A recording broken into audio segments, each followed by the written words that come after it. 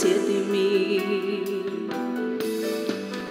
Es la quinta vez que Dios enviará al profeta Elías. Serán liberados ciento cuarenta y cuatro mil. Pero la cuarta vez que Dios ha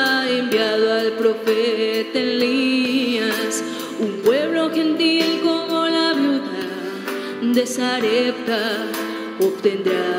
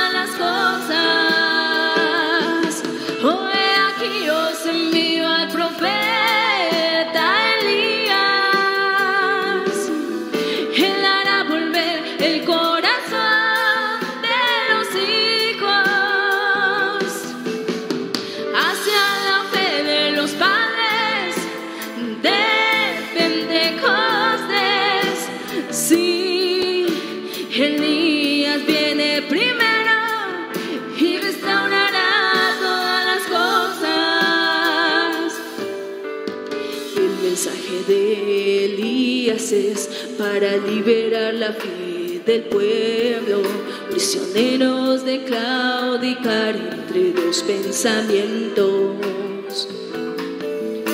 sacando de escena el nicolaísmo y balamismo y después de la gran sequía por causa de Acab y Jezabel traer de regreso lluvia temprana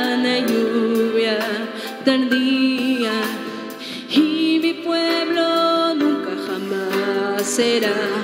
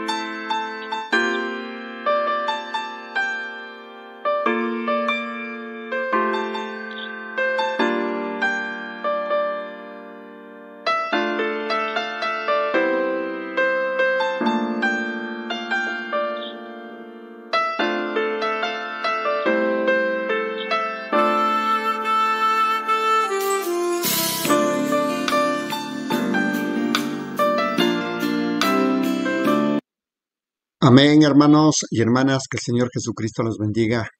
Es realmente para nosotros un privilegio de continuar con este compañerismo. Esto es la lectura de estos gloriosos mensajes que Dios nos ha dado en nuestro corazón.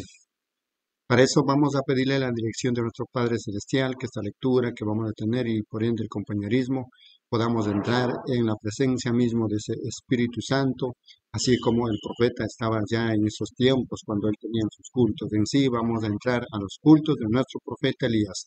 Gracias, amado Padre Celestial, un día más por darnos esta vida, Señor, por habernos hecho partícipe de tu programa, oh Padre amado. Tú dijiste en San Juan 15, 5, que yo soy la vid, vosotros los pámpanos, el que permanece en mí y yo en él, este lleva mucho fruto, porque separados de mí nada podéis hacer, oh Padre amado. Entonces, por eso es la razón que nos sometemos humildemente, con mucho respeto, con mucha reverencia, Señor, para poder y pedirte instrucciones, Señor. Tú ya los diste a través de nuestro profeta, el séptimo ángel donde vino a revelar todos los misterios, como dice Apocalipsis 17, sino que en los días de la voz del séptimo ángel, cuando él comience a tocar la trompeta, el misterio de Dios sería consumado como así lo anunciaste a tus siervos los profetas. Oh Padre amado, entonces da cumplimiento, Señor, al Apocalipsis 18 al 11, donde tenemos que comernos del libro. Oh Padre amado, y luego profetizar nuevamente para tribus, lenguas, naciones y reyes. Eh, San Juan 15, 7 dice, si permanecéis en mí y mis palabras permanecen en vosotros, pedid todo lo que queréis y os será hecho. Oh, qué glorioso, gloriosa promesa que tú nos estás dando, Señor. Entonces en esta tarde, al unirnos de esta forma, de esta manera, Señor, pedimos que tu Santo Espíritu caiga en cada uno de vosotros. Bendice grandemente al corazón, al alma, que lecturará también a los hermanos y hermanas que estarán en la cena, Señor. Permite para entender, Señor, los cultos que estaba predicando vuestro profeta o Padre, y de esa manera entrar ya en tu palabra, Señor, que eso nos llevará a vida eterna. Gracias, Padre amado. Iniciamos entonces este compañerismo en el nombre del Señor Jesucristo. Amén, mis amados hermanos, que el Señor Jesucristo los bendiga. Vamos rápidamente a continuar con la lectura porque el tiempo es demasiado corto. Estamos lecturando este glorioso mensaje titulado Poseyendo las puertas del enemigo. Este mensaje fue predicado en Jeffersonville, Indiana, Estados Unidos de América, el día 8 de noviembre del año 1959. Continuamos con la lectura. Voy a lecturar en los párrafos 22 al 31. Dice, los hombres no son infalibles, pero Dios sí lo es con el hombre. Usted enfoca su mente en un hombre y él cometerá un error. Quizás no sea voluntariamente, pero él lo hará. Dios permite que él lo haga para que él, que él pueda sacudir y aportar la fe suya del hombre. Nuestra fe no está en la sabiduría del hombre, sino en el poder de la resurrección de Jesucristo. Allí es donde la verdadera simiente de Abraham hace descansar su promesa porque solo pueden ser la simiente de Abraham cuando reciben al Espíritu Santo. Sin el Espíritu Santo no son la simiente de Abraham. Esa misma fe que estaba en Abraham entra en el creyente. No importa lo que acontezca o cuán contrario, el creyente marcha adelante. Párrafo 23. Los espías regresaron y dijeron, oh, es, es necedad, aún el intentar, no hay por qué ir más adelante, porque ese pueblo allá son tan gigantes y ellos tienen grandes gobiernos y ellos, ellos tienen lanzas y pues incluso nos vemos como langostas al lado de ellos. No, yo no sé, pero estoy persuadido a creer que Josué era un hombre pequeño, un tipo bajito y pequeño.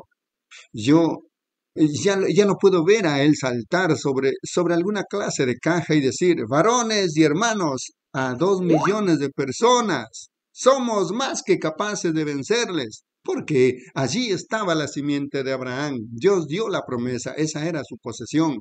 Dios dio la promesa, no importa cuál fuera la oposición, la verdadera simiente de Abraham dijo, nosotros podemos tomarla porque Dios nos la dio.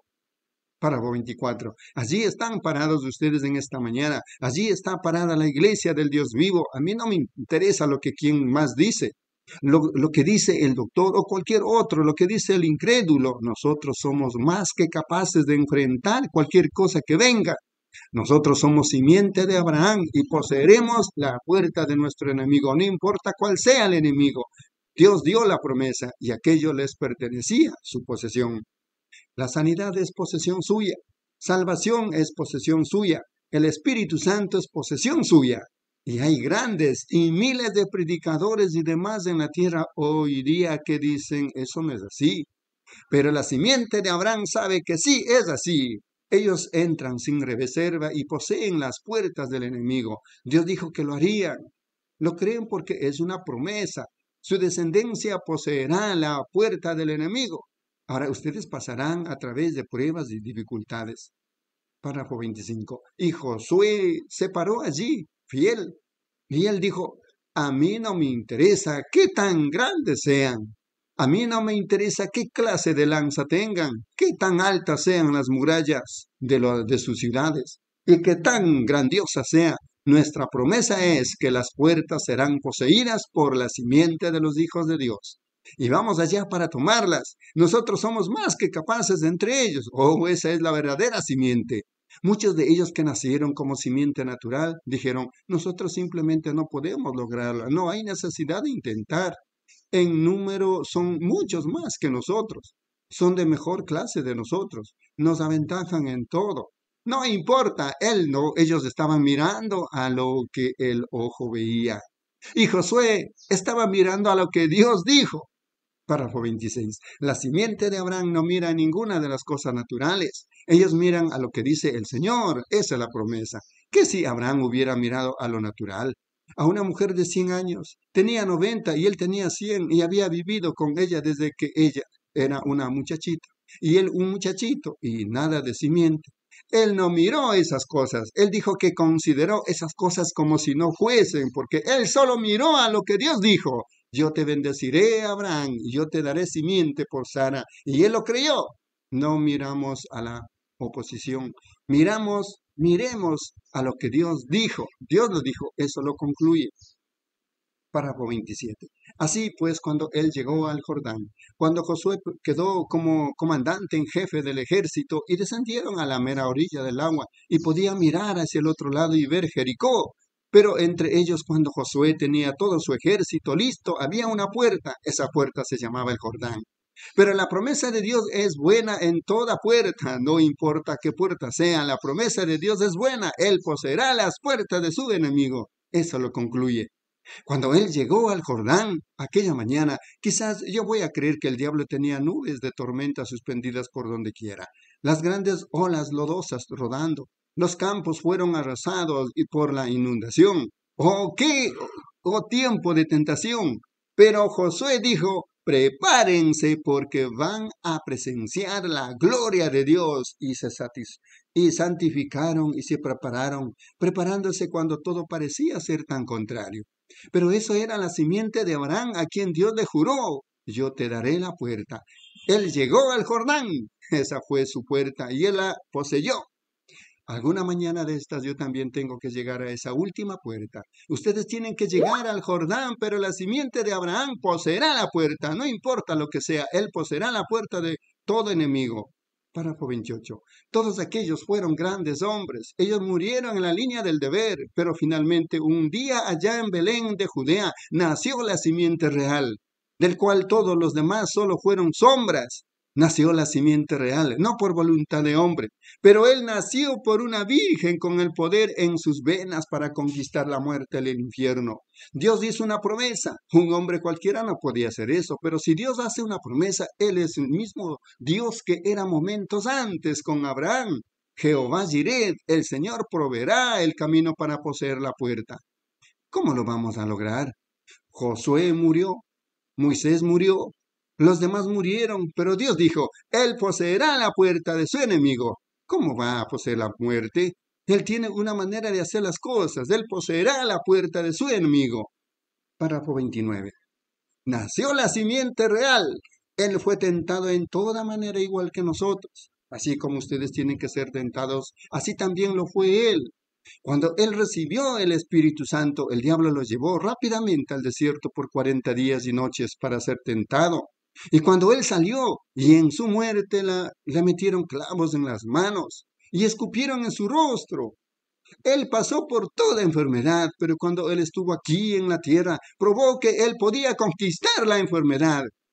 Cuando la madre de la esposa de Pedro yacía enferma de una parálisis, Él le tocó en la mano y la fiebre la dejó. Cuando el leproso clamó en la puerta, Inmundo, inmundo, si tú quieres, me puedes sanar. Él dijo, Yo quiero, sé sano. Él conquistó y poseyó la puerta de la lepra, Él poseyó la puerta de las fiebres. Él hizo que toda la naturaleza le obedeciera a Él. Él era la simiente de Abraham, la simiente real al cual fue dada la promesa. A Él, a Abraham y toda la simiente que le siguió hasta la simiente real y toda la simiente después de Él. La promesa de Dios es fiel. Él conquistó la enfermedad. Él conquistó la tentación. Cuando el enemigo escupió en su rostro y le pegó en la cara, Él le mostró al otro lado. Cuando le arrancaron la barba del rostro y le escupieron, Él no lo maldijo. Él conquistó la puerta de la tentación y la venció. Entonces usted dice, mi mal genio no me permite hacer eso. Usted siendo simiente de Abraham. Sí, Señor, Él lo conquistó por usted. Párrafo 30. Cuando Él fue maldecido, Él no los maldijo. Cuando se burlaron de Él, Él se quedó callado. Cuando le llamaron de diablo, Él se quedó callado. Él tenía un solo negocio y ese era el negocio del Padre y Él se ocupó en eso. Entonces finalmente los llevaron a una cruz, la muerte tuvo que enfrentarse con él. Todos los demás habían conquistado mares y habían conquistado la naturaleza y habían conquistado leones y habían conquistado fuego. Habían conquistado todo menos la muerte. Pero aquí estaba uno que en su cerebro y en sus venas latía el poder conquistador de la muerte. Así que lo tomaron de las manos y lo estiraron y lo clamaron en una cruz. Lo golpearon y lo desnudaron al grado que sus mismos huesos lo estaban mirando. Pero cuando lo hicieron, e hicieron todo cuanto pudieron hacer, la muerte le azotó y dijo, ahora yo te llevaré como lo hice con Josué, yo te llevaré como lo hice con Daniel, y haré todo esto porque te haré que mueras. Párrafo 31 por último. Y tal fue su muerte que el sol se avergonzó de sí mismo Tal fue su muerte que aún la, naturaleza se, se avergonzó y dejó de funcionar. El sol se bajó el mediodía y las estrellas no quisieron salir. Tal fue su muerte que los elementos se pusieron tan negros que uno no podía ni verse la mano al mediodía. Me imagino que la naturaleza dijo, prefiero morir junto con él. Hermano, entonces el diablo lanzó su preciosa alma a los abismos del infierno. Así las puertas se le abrieron y él salió en el tercer día habiéndolo conquistado. Amén. Su simiente poseerá la puerta del enemigo. Conquistó la muerte, conquistó el infierno en esa primera mañana de Pascua, conquistó la tumba. Hoy nos paramos más que vencedores por medio de quien nos amó. Amén. Aleluya. Mis amados hermanos, que el Señor Jesucristo los bendiga. Continuamos con la lectura de este glorioso mensaje, poseyendo las puertas del enemigo. Este mensaje fue predicado en Jeffersonville, Indiana, Estados Unidos de América, el día 8 de noviembre del año 1959. Continuamos, hermana Reina, en los párrafos 32 al 41. Amén. Dios les bendiga, hermanos y hermanas. Continuando con el mensaje poseyendo las puertas del enemigo, predicado el 8 de noviembre del año 1959, párrafo 32. En el día de Pentecostés, Él envió el Espíritu Santo y por medio de los gentiles continuar a sacar una simiente de promesa para darles a los gentiles los desechos para darles a los gentiles los desechados, para darles el bautismo del Espíritu Santo, para traerlos a ellos dentro de la promesa. Ahora, nosotros tenemos el derecho de conquistar toda enfermedad. No tenemos que conquistarla, ya está conquistada. Solo tenemos que reclamar la promesa y tomarla. Amén. Ya está conquistada. La muerte está conquistada. El infierno está conquistado, la enfermedad está conquistada, la tentación está conquistada, todos los demonios están conquistados, el infierno está conquistado, la muerte está conquistada, el sepulcro está conquistado. Estamos en la puerta, tomándola. No tenemos que disparar ni un solo tiro. ya ha sido pagado. 33. Su enemigo, él poseerá la puerta de su enemigo. ¿Cuántos? Miles de millones. Él poseerá la puerta de su enemigo, todo enemigo. Él resucitó de entre los muertos. Nosotros lo poseemos porque Él nos los dio. Todo es un regalo gratuito. Y además de todo eso y todo lo que Él ha hecho y conquistó toda puerta, Él conquistó la enfermedad, conquistó la puerta.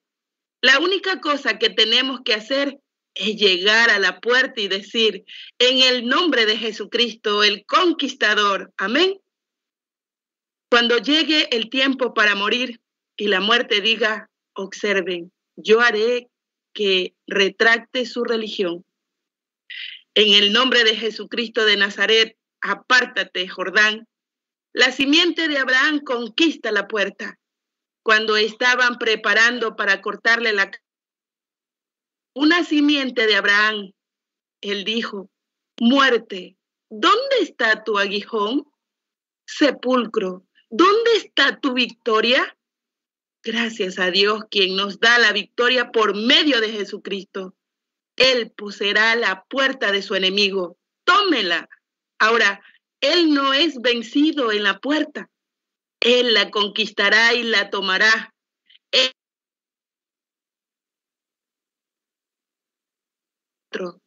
En esta mañana, en la iglesia del Dios vivo, está el poder para sanar toda enfermedad. En la iglesia del Dios vivo está el poder para vencer toda tentación.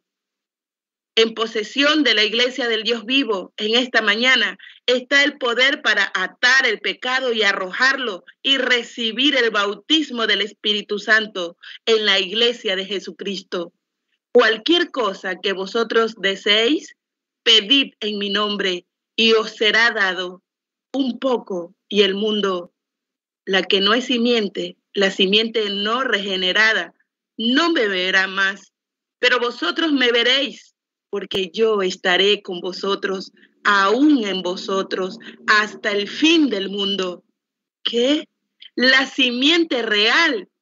Las obras que yo hago, vosotros también las haréis yo mismo verificaré que yo estoy con vosotros, porque estas señales seguirán a los que creen.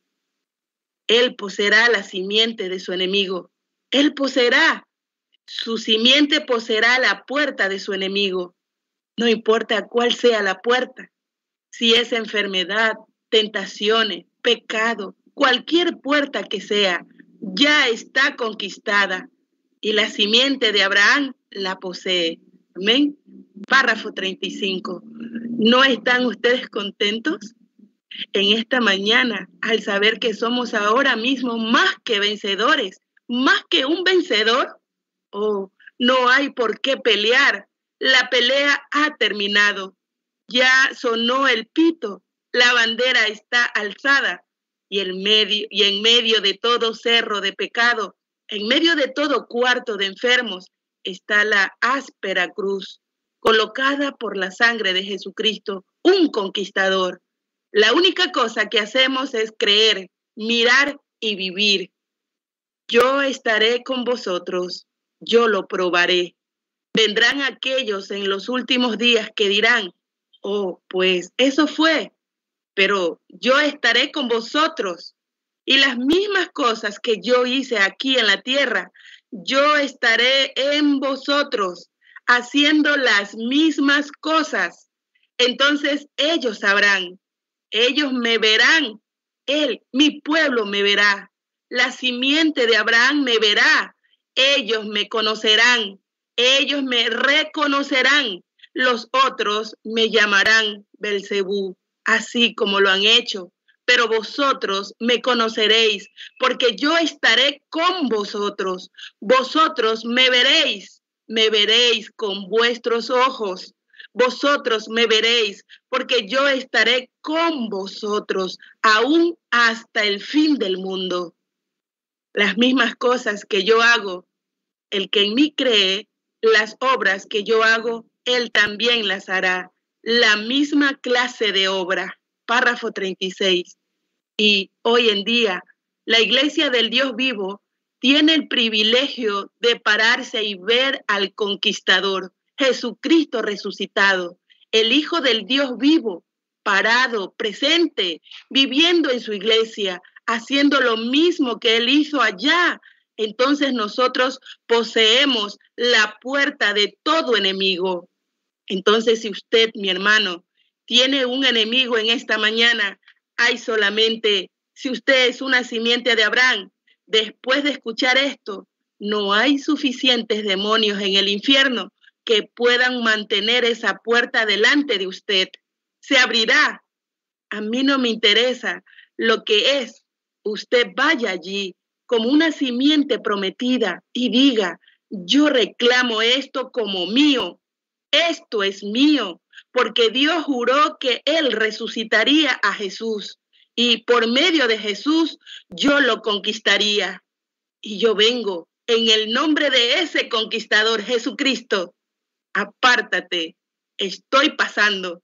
Amén. Él poseerá la puerta del enemigo.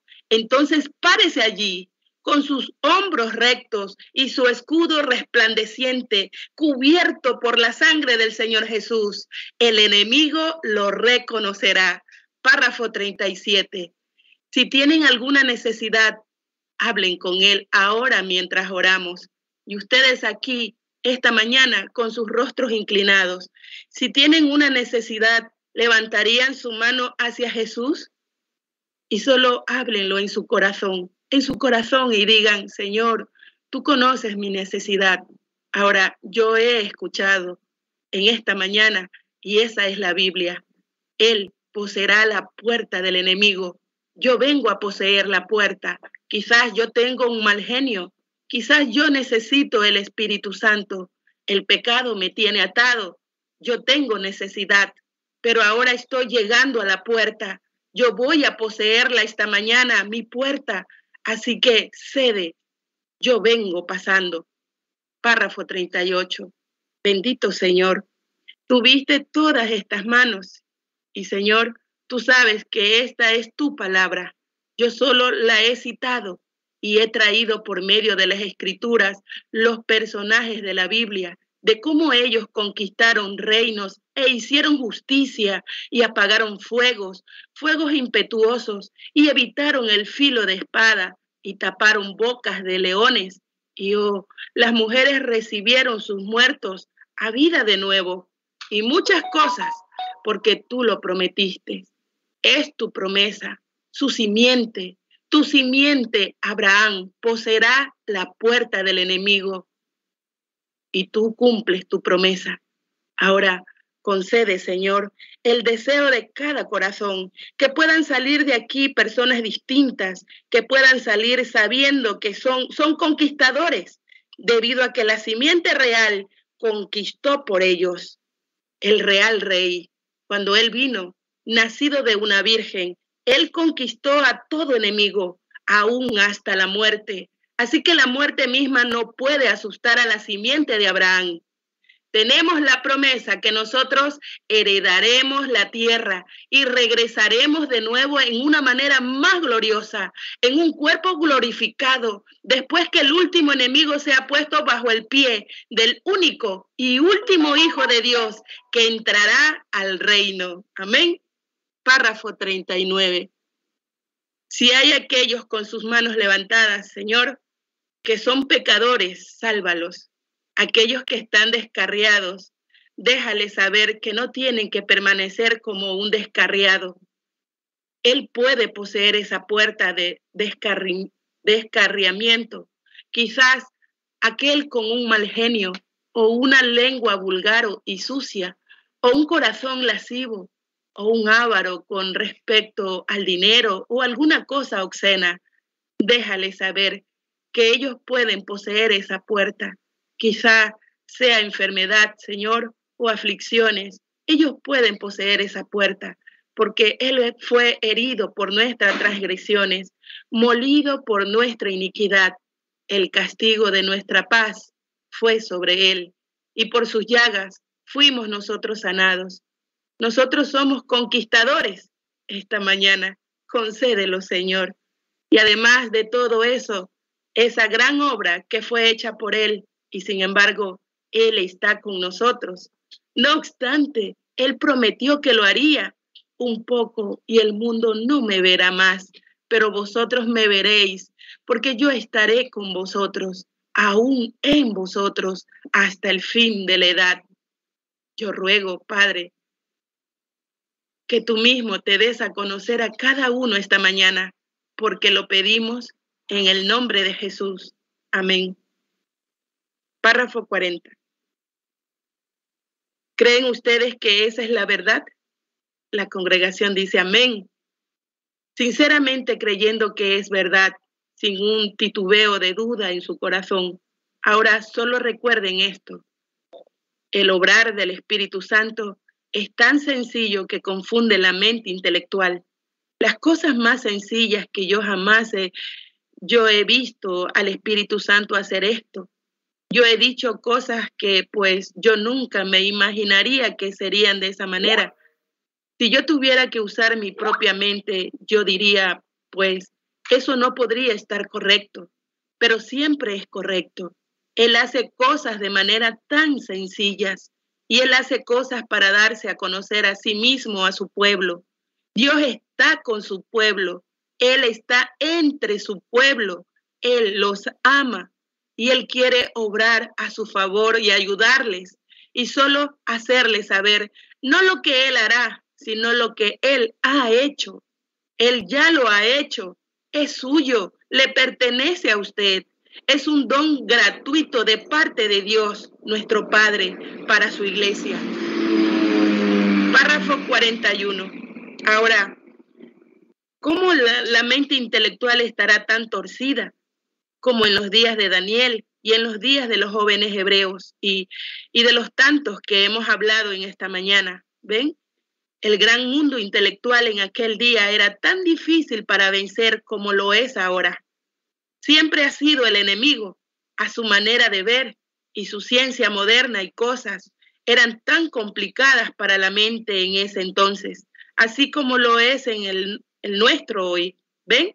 Era igual, pero habían aquellos, siempre, quienes se atrevieron a permanecer fijo y decir, Dios es correcto, la palabra de Dios es verdad y usted no tiene que conquistar porque Él ya conquistó. La única cosa que usted tiene que hacer es simplemente subir y pararse en la puerta y decir, es mío, esto es mío, Dios me lo dio, mi salvación. Si yo quiero el Espíritu Santo, Dios me lo dio. La promesa es para mí, para nuestros hijos, a todos los que están lejos, a cuantos el Señor llamare. Por eso es que yo me paro solamente. Amén. Dios le bendiga, mis hermanos. Amén, hermana Reina, Dios le bendiga la lectura. Continuamos con este glorioso mensaje titulado Poseyendo las puertas del enemigo. Jeffersonville, Indiana, Estados Unidos de América, día 8 de noviembre del año 1959. Continuamos, hermana Margarita, Dios le bendiga. En los párrafos 42 al 51.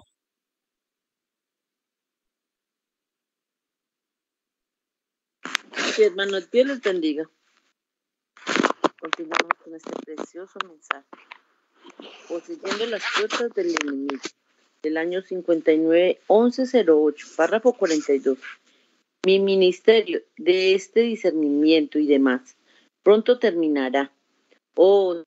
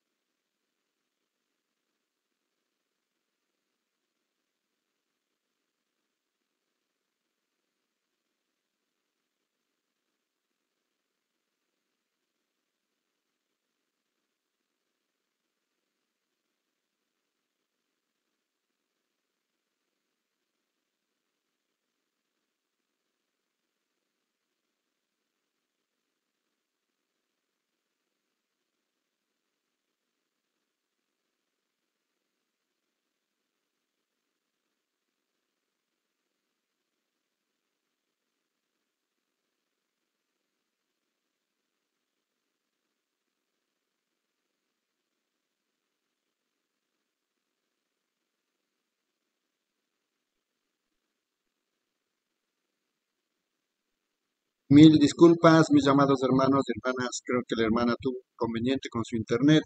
Hermana Erika, si está lista, Dios le bendiga. ¿Podría continuar en los párrafos de la hermana Margarita? Párrafo 42 al 51, confirme. Dios le bendiga, hermanos. Yes, uh, continuamos con el mensaje poseyendo las puertas del enemigo. Párrafo 42. Mi ministerio de este discernimiento y demás pronto terminará, o siempre estará presente, pero pronto terminará esto porque se está pasando algo mayor. ¿Ven? Está subiendo de tomar la mano hasta el discernimiento y ahora está preparado para tomar otro. ¿Ven? Véanlo, obsérvanlo y sepan que es verdad. ¿Ven? Yo sé que es la verdad y seguirá algo mayor, más alto, mejor, seguro, pues Él lo prometió y lo que Él promete, Él lo hace. Él no puede fallar en su promesa. ¿Y qué es? Su siempre viviente presencia con nosotros, para hacerles saber que Él ha conquistado la puerta por ustedes. Él era la simiente real, nadie podría poseer esas puertas sino Él. Todos aquellos allá atrás fueron sombra de su vida, de su venida, perdón. Pero cuando Él vino, concluyó toda la batalla. La batalla fue consumada en Hexamani y en el Calvario y ahora solamente nos paramos como vencedores y no hay más guerra, no más guerrear. Nosotros, la batalla ha terminado, simplemente lo poseemos. El título abstracto a esto, una garantía escrita por Dios, nuestro Padre, quien levantó su mano y dijo, yo juraré por mí mismo que su simiente poseerá la puerta del enemigo. Allí está, ya fue tomada. Él fue herido por nuestras transgresiones, por sus llagas fuimos nosotros curados. Ya ha sido hecho. Es una obra consumada. Nosotros somos la poseemos. Y las obras que yo hago, vosotros también haréis. El Rey está con nosotros en esta mañana. Sus grandes bendiciones, el Espíritu Santo, moviéndose sobre nosotros, para sentir este, ese glorioso sentir, para saber que está exactamente en la línea con la palabra de Dios. Nos da una consolación tan maravillosa saber que, que Dios es nuestro Padre. 43. Ahora, yo creo, repartió el, el tarjeta de oración esta mañana. Yo le dije muy bien que si no había más que solo a las personas del tabernáculo, pues que no repartiera tarjeta de oración pero si había, había por lo menos como 10, 15 personas o algo de visitantes, pues que, que diera tarjetas de oración para que pudiéramos traerlos y orar por ellos. ¿Cuántos son visitantes con, con nosotros esta mañana? Levanten su mano. Oh, vaya, seguro. Hay 15 o 20 de ellos. Muy bien. Pondremos en línea esta tarjeta de oración y los traeremos a la plataforma. Vean, la razón que yo dije eso de las personas del tabernáculo, ellos aquí están. Este discernimiento, recuerden, yo estoy diciendo esto, el discernimiento pronto llegará al fin. Habrá algo mucho mayor y mucho mejor que está en camino. Allí había, de lo que yo sé, ¿ven? Ahora mismo estoy mirando a dos hermanos que estaban parados conmigo ayer cuando eso aconteció, ¿ven? Y el día antes, cuando aconteció, y con eso ya son tres veces seguidas que ha acontecido, una confirmación que eso está ahora mismo a la mano. Ve, está listo para acontecer. 44. Ahora, Señor, tú eres Dios y nosotros somos tus siervos. Te damos gracias por tu palabra, por el Espíritu Santo quien ha bendecido nuestros corazones. Y ahora estamos contentos, estamos sentados aquí sabiendo que somos vencedores nosotros ya poseemos todas las puertas del enemigo. Ha sido, ha sido dado a nosotros y tenemos la llave maestra en nuestras manos.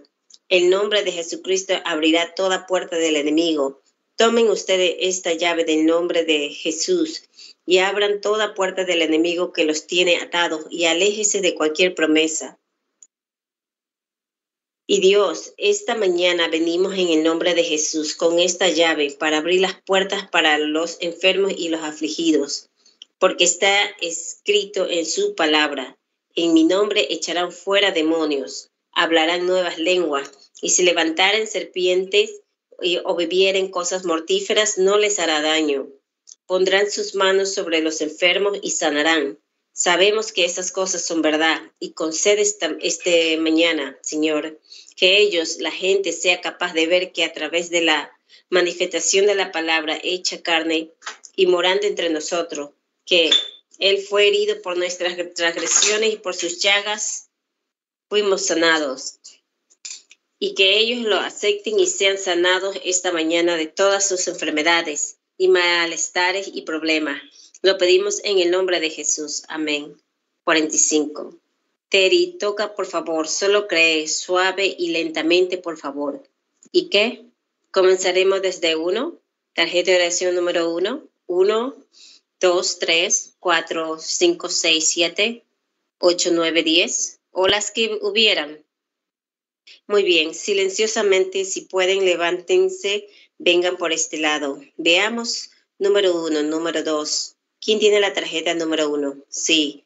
Número dos, muy bien. Señor, número tres, número cuatro, número cinco, número seis, número 7, número 8, número 9, número 10. Mientras ellos están llegando y tomando sus posiciones aquí de pies, me gustaría hacer esta pregunta a los demás. ¿Cuánto hay aquí personas del tabernáculo que estén enfermas? Personas del tabernáculo, levanten sus manos.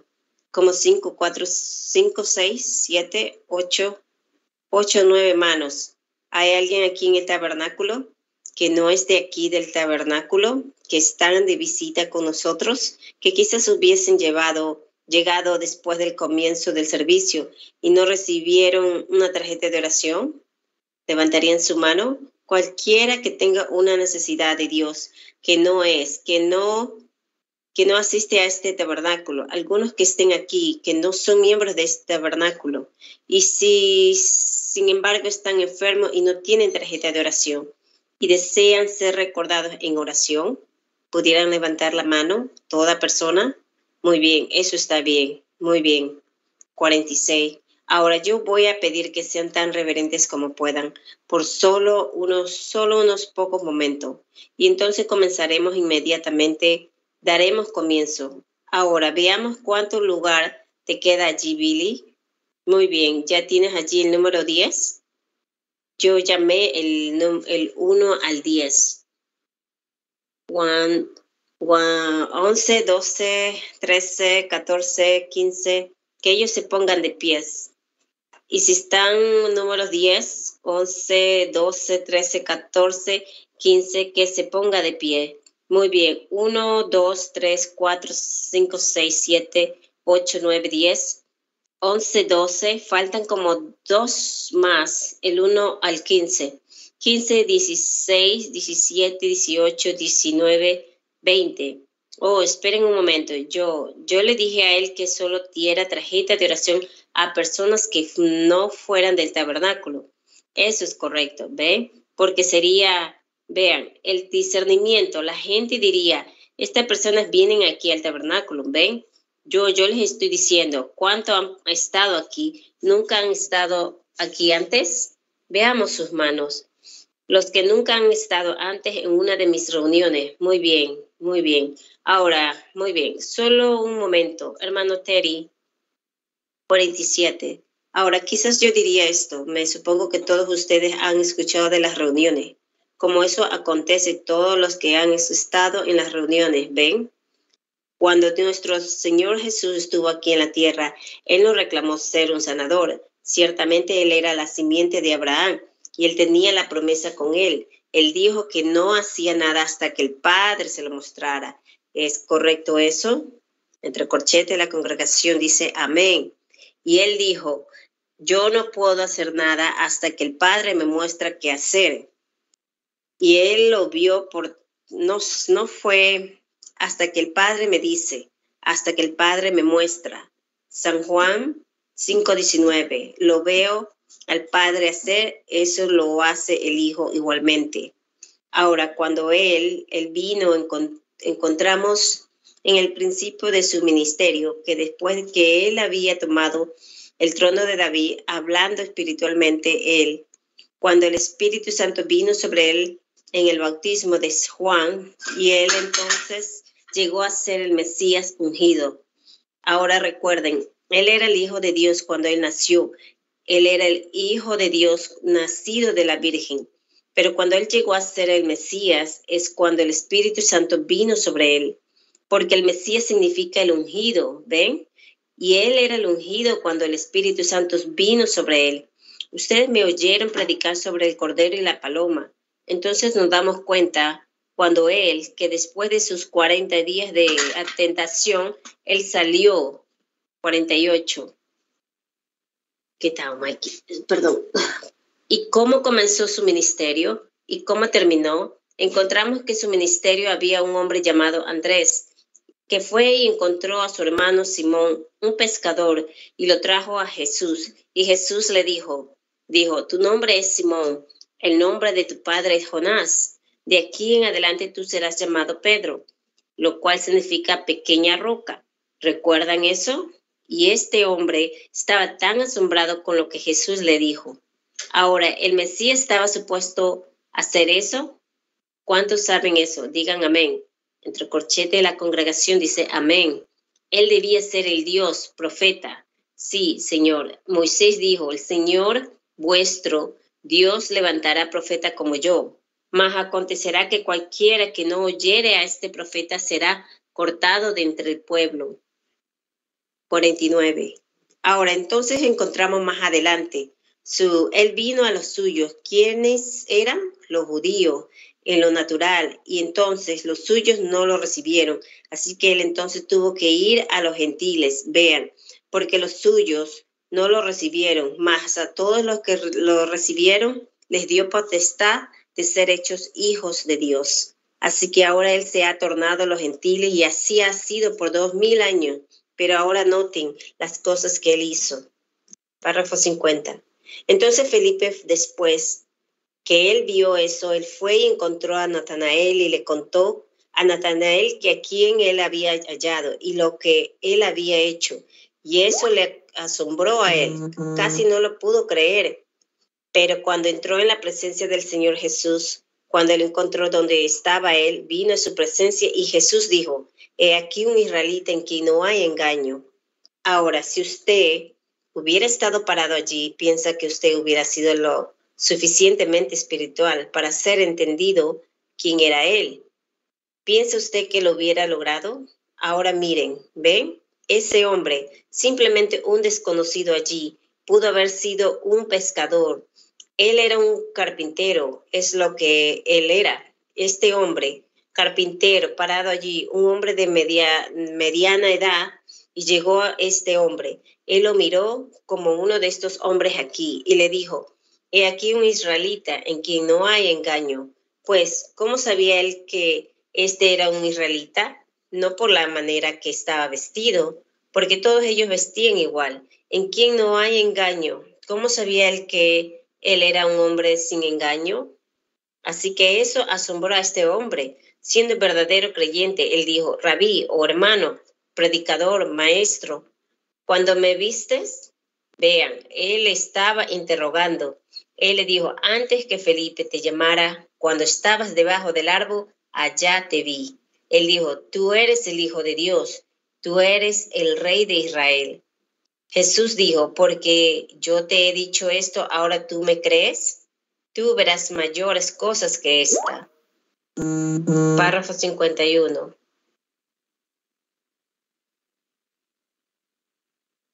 Y esa es la razón por la cual creo que creo yo que la iglesia del Dios vivo verá una cosa mayor que esta. Se está preparando para entrar en eso dentro de poco tiempo, por cuanto lo han creído. Aquellos que lo han rechazado debido a las barreras denominacionales, yo dudo que jamás creerán alguna cosa.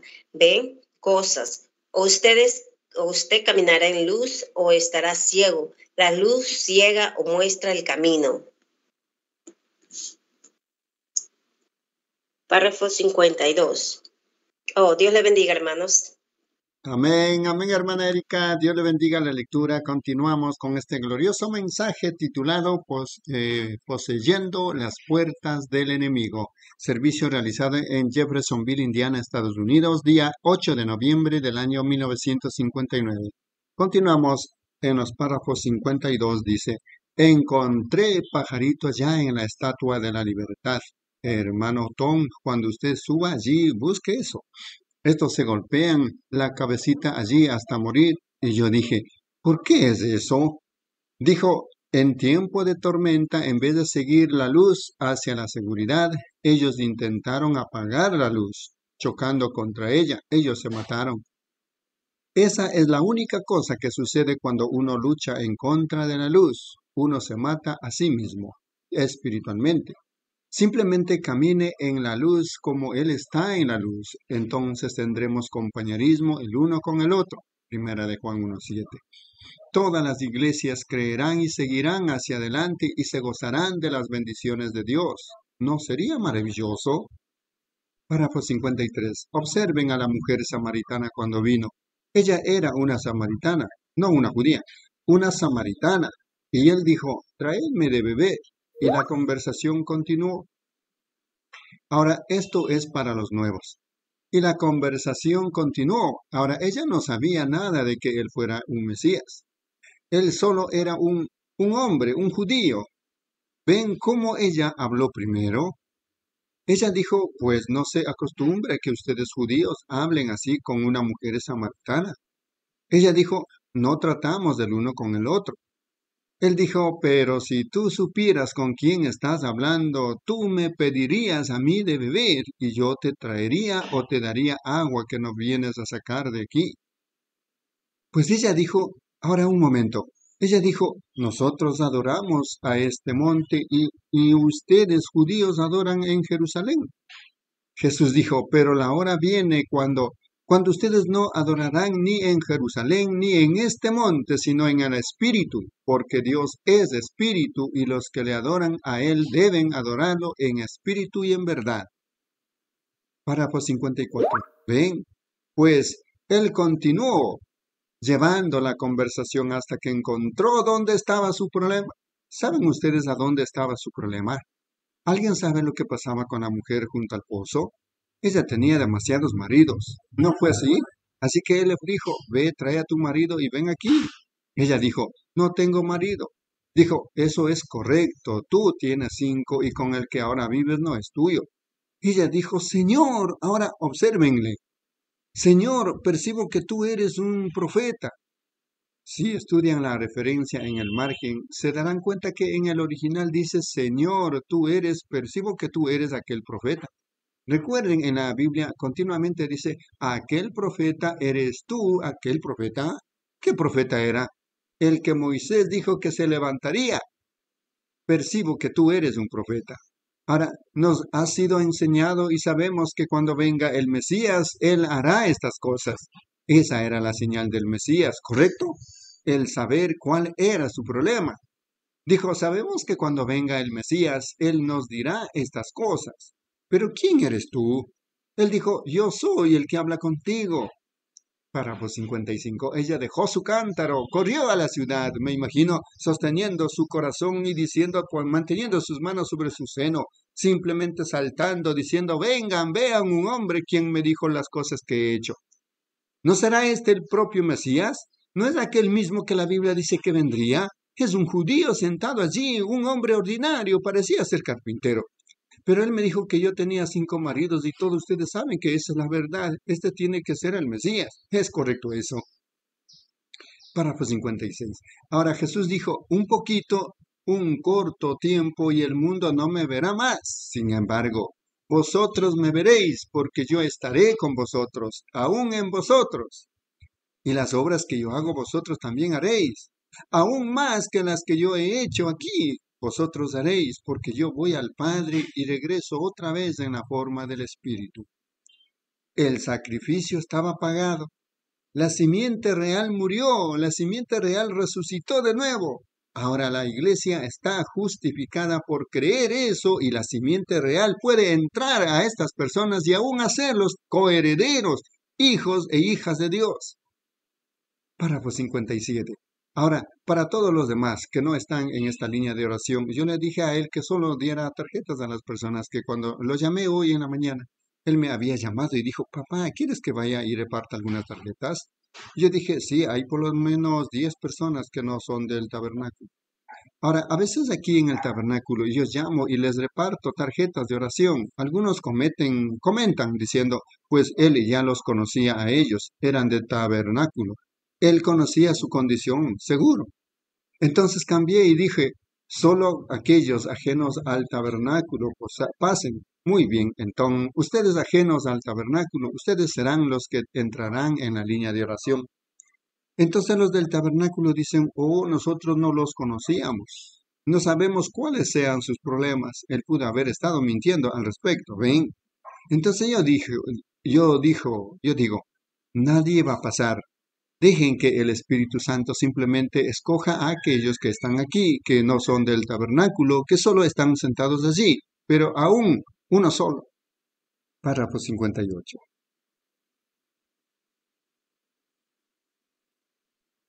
No hay ninguna manera de traer a un hombre a Dios, a menos que él esté predestinado para ser un hijo de Dios. Simplemente no hay manera que no hay manera de hacerlo. Jesús dijo, ningún hombre puede venir a mí si mi Padre no le trajere. Y esa es la verdad. Todo lo que él hizo siempre había algo contrario.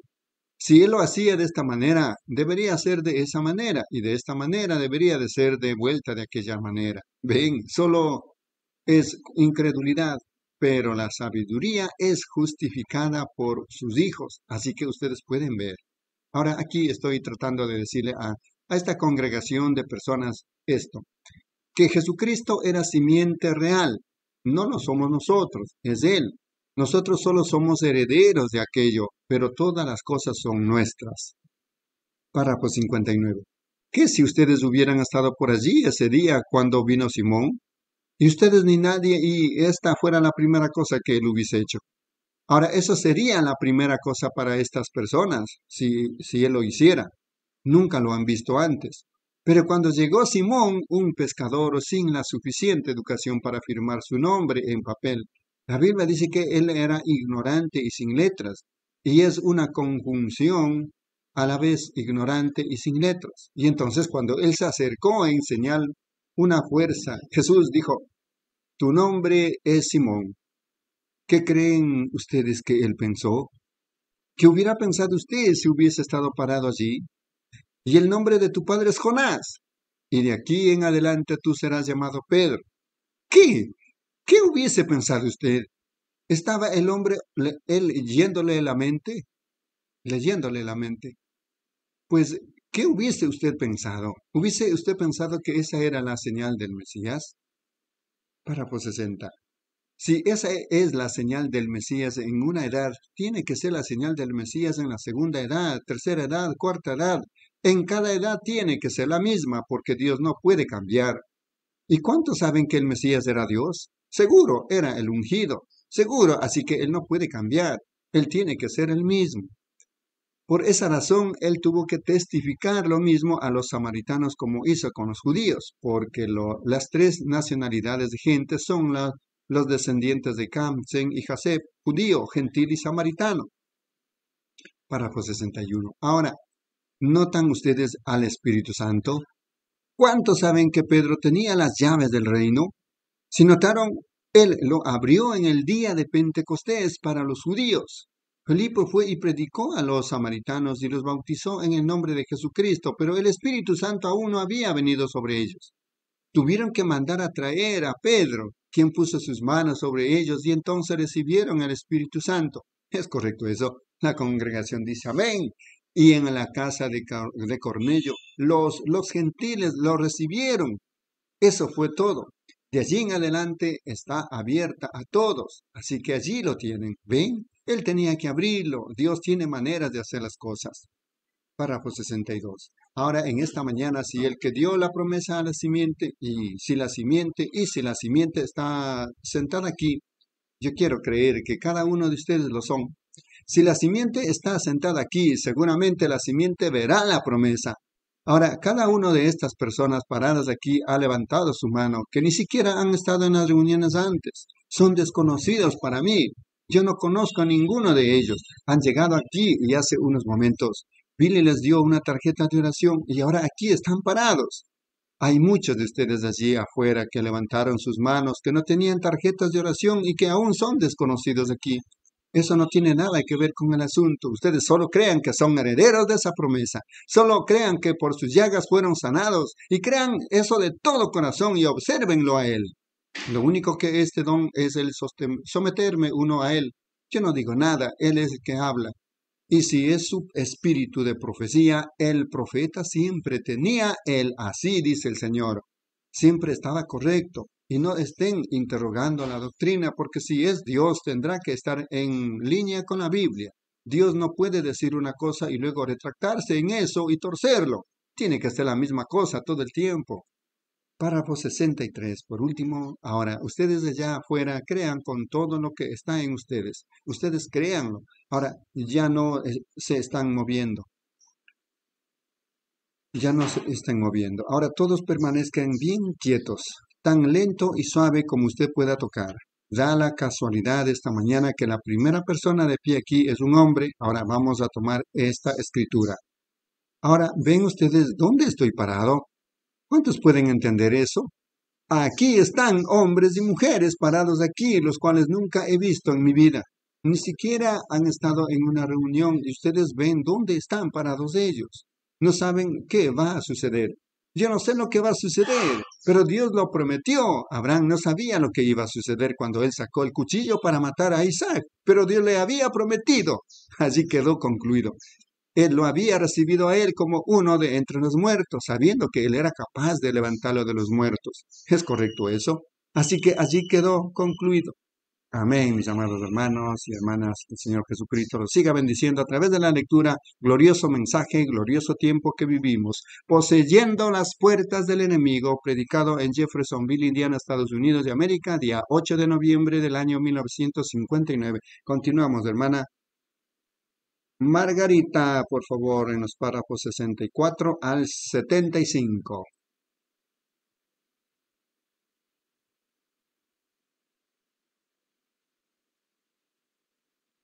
hermano, ¿sí me escucha? Afirmativo. Prosiga, hermana. Dios le bendiga. Amén, hermano. Dios les bendiga. Párrafo 64. Del mensaje poseyendo las puertas del enemigo. Ahora, aquí a mi lado está para un hombre. Yo nunca eh, lo he visto. No sé nada acerca de él. Somos desconocidos el uno al otro. No nos conocemos el uno al otro. Dios conoce a los dos. Ahora, por un don divino, si yo solo pudiera, puedo por medio de un don, ahora, esos dones nacen con uno. Dios los prometió desde antes de la fundación del mundo. ¿Cuántos saben eso? La congregación dice amén. Así que no sería nada que yo tuviera para merecer el don. Dios así lo escogió. Yo no lo escogí. Él escogió eso. ¿Ven? cómo los profetas del Antiguo Testamento y las diferentes personas fueron predestinados para hacerlo, para hacer esto. Párrafo 65. Ahora, si el hombre está enfermo, yo no podría sanarle. Si el hombre está en necesidad, dependería de lo que él necesite para yo poder ayudarle o no. Pudiera ser si fuera alguna cosa como si él, alguna cosita que yo pudiera ayudarlo, pues yo con todo gusto lo haría. Quizás él tiene un mal genio, quizás él ni siquiera es un cristiano, quizás es un cristiano, quizás es un impostor. Yo no sé qué es, si es un ataque secreto, uno que se, uno que se metió inadvertidamente y vino aquí y solo haciéndose pasar como algo.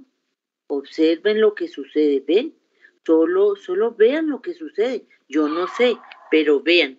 Al pararse uno aquí, entonces uno puede pararse perfectamente sabiendo que quizá que Dios hizo una promesa y Dios cumple su promesa. ¿Ven? Ahora, si Dios cumple su promesa, aquí ahora mismo entre estas personas, ¿cuánto allá sentado lo van a creer de todo corazón? ¿Con todo su corazón lo van a creer? Entonces solo créanme. Párrafo 66. Ahora, veamos, tomemos a una, una escritura. Ahora, Simón Pedro vino al Señor Jesús y al llegar con el Señor Jesús, el Señor Jesús le dijo a él quién era y él le dijo cosas acerca de su vida, pues el mismo Jesús vive hoy. Él. ¿Cree ustedes que Él resucitó entre los muertos? La congregación dice amén. ¿Creen ustedes que el Espíritu mesiánico vive en la iglesia hoy? De igual manera como siempre lo ha hecho. Amén. Muy bien. Ahora ustedes en la audiencia que no tienen una tarjeta de oración, ustedes miren hacia acá y digan, Señor, por supuesto, no hay tarjetas en la audiencia. Yo no los tengo a todos parados aquí. Ustedes en la audiencia digan, Señor, tú tócame a mí. Vean lo que sucede. Vean lo que sucede. Párrafo 67. Ahora, Señor, si hubiera una manera de ayudarlo, yo lo haría. ¿Ve usted? Solamente soy, somos desconocidos aquí y yo, yo por primera vez lo estoy conociendo, pero como un ministro yo soy responsable de decir la verdad y de ser un testigo de Jesucristo. Y ahora yo no quiero que ustedes me digan nada, yo solo quiero que usted me responda si es verdad o no, y entonces permita que Él lo haga. Y si Él obra de la misma manera aquí en la plataforma, por medio de este cuerpo, como Él lo hizo a través del cuerpo de Jesús. Ese era Dios en Cristo. Jesús dijo, yo no hago nada hasta que el Padre, el cual está en mí, me lo muestra. Él me dice qué hacer. Así que no era Jesús el que le dijo a la mujer, era el Padre en él que le dijo a la mujer, no era, no, no era Jesús el que sabía quién era Simón. Simón Pedro era el Padre que moraba en él, que sabía quién era Simón Pedro. Así es, ¿ven? Eso es, párrafo 68. Lo puedo decir que le puedo decir que usted es un cristiano, sí señor, porque usted tiene un, un espíritu receptivo, una vibración amable y él, él es un creyente, él es un cristiano, y usted está sufriendo de una condición nerviosa, la cual le causa un problema estomacal. El hermano dice, eso es correcto, eso, ¿es correcto eso? Eso es correcto, ¿ven? ¿Ven? Ahora eso es exactamente, ¿cómo es? ¿Cómo eso? ¿Cómo supe eso? ¿Cómo sería posible que yo supiera eso? Nosotros jamás nos hemos visto en el uno al otro. Es eso, eso es verdad. ¿No es así?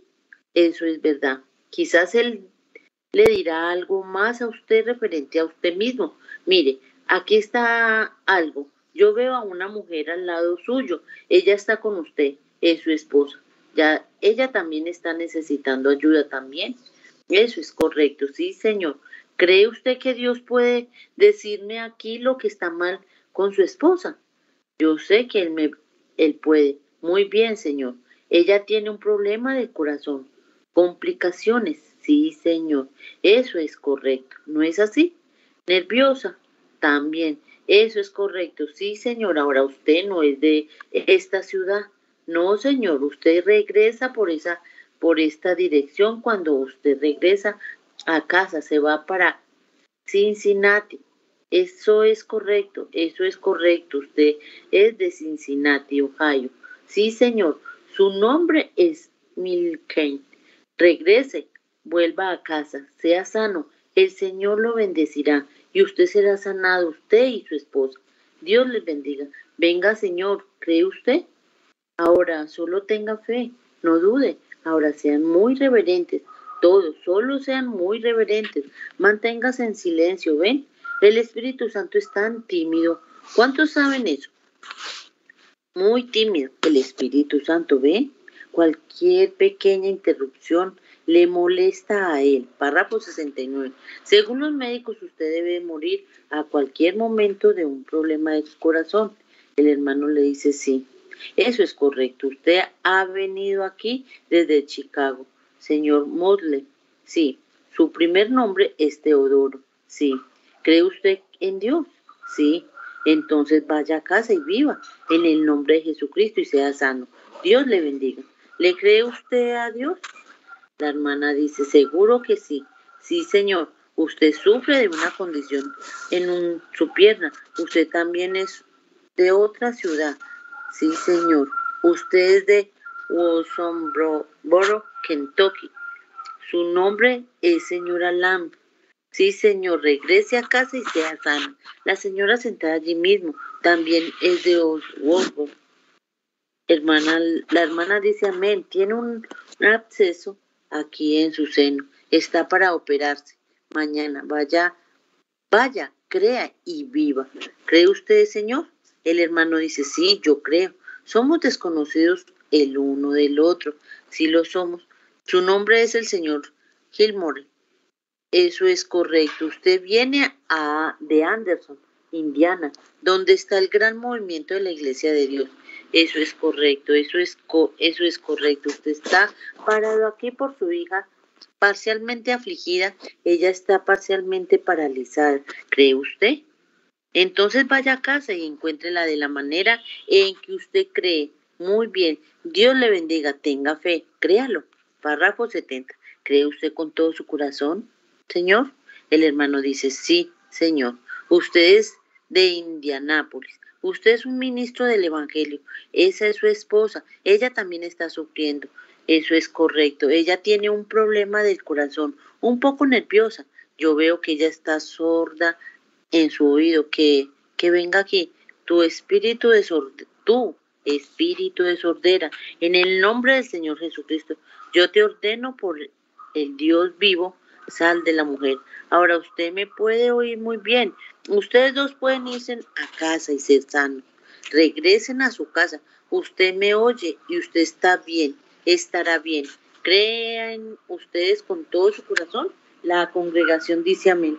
Solo tengan fe en Dios, crean. Esa artritis, eso es una cosa terriblemente mala. ¿Cree usted que Dios la sanará? Entonces camine por allí y vaya a casa alabando su nombre, diciendo gracias, amado Señor Jesús. La razón que capté eso tan rápido, esta mujer tenía la misma cosa, artritis. ¿Cree usted que Dios lo sanará? El hermano dice, sí, muy bien, Señor. Entonces solo camine por allí y diga, gracias, Señor Jesús, y vaya a casa. Muy bien, hermana, solo dé la vuelta y regrese y crea la rigidez que tiene aquí en sus rodillas y su problema de corazón y demás, solo dé la vuelta y regrese a casa y diga, gracias Señor Jesús, y sea sana crea con todo lo que está en usted. Párrafo 71. ¿Creen ustedes? La congregación dice amén. Quede allá afuera. ¿Algunos de ustedes, ustedes creen? Amén. La dama sentada allí, de pelo negro, tiene epilepsia. ¿Cree usted que Dios la sanará? ¿Lo acepta usted? Muy bien. Si usted lo hace, Él lo hará. Aquí está un predicador, sentado aquí, deseando un caminar más cerca con Dios. ¿No es así, Señor? ¿Cree usted que Dios lo hará por usted? Levante su mano y diga, yo lo acepto. Esta señora sentada aquí, que bajó la mano, ella tiene un problema espiritual en el que está pensando. Eso es correcto. Aquí está una dama pensando si ella va a tener su bebé. Eso es correcto. Usted ha, estado en una de mis reuniones y yo le prometí por medio de Dios un bebé. ¿No es así? Muy bien, entonces vaya a casa y téngalo. No, lo, no se preocupe más al respecto. Párrafo 72. ¿Creen ustedes con todo su corazón? Todos ustedes, la congregación dice amén. Todos ustedes creen. Amén. La simiente de Abraham poseerá la puerta, la puerta del enemigo. ¿Son ustedes la simiente de Abraham? Por medio de Jesucristo. Levanten sus manos si lo son. Amén, amén.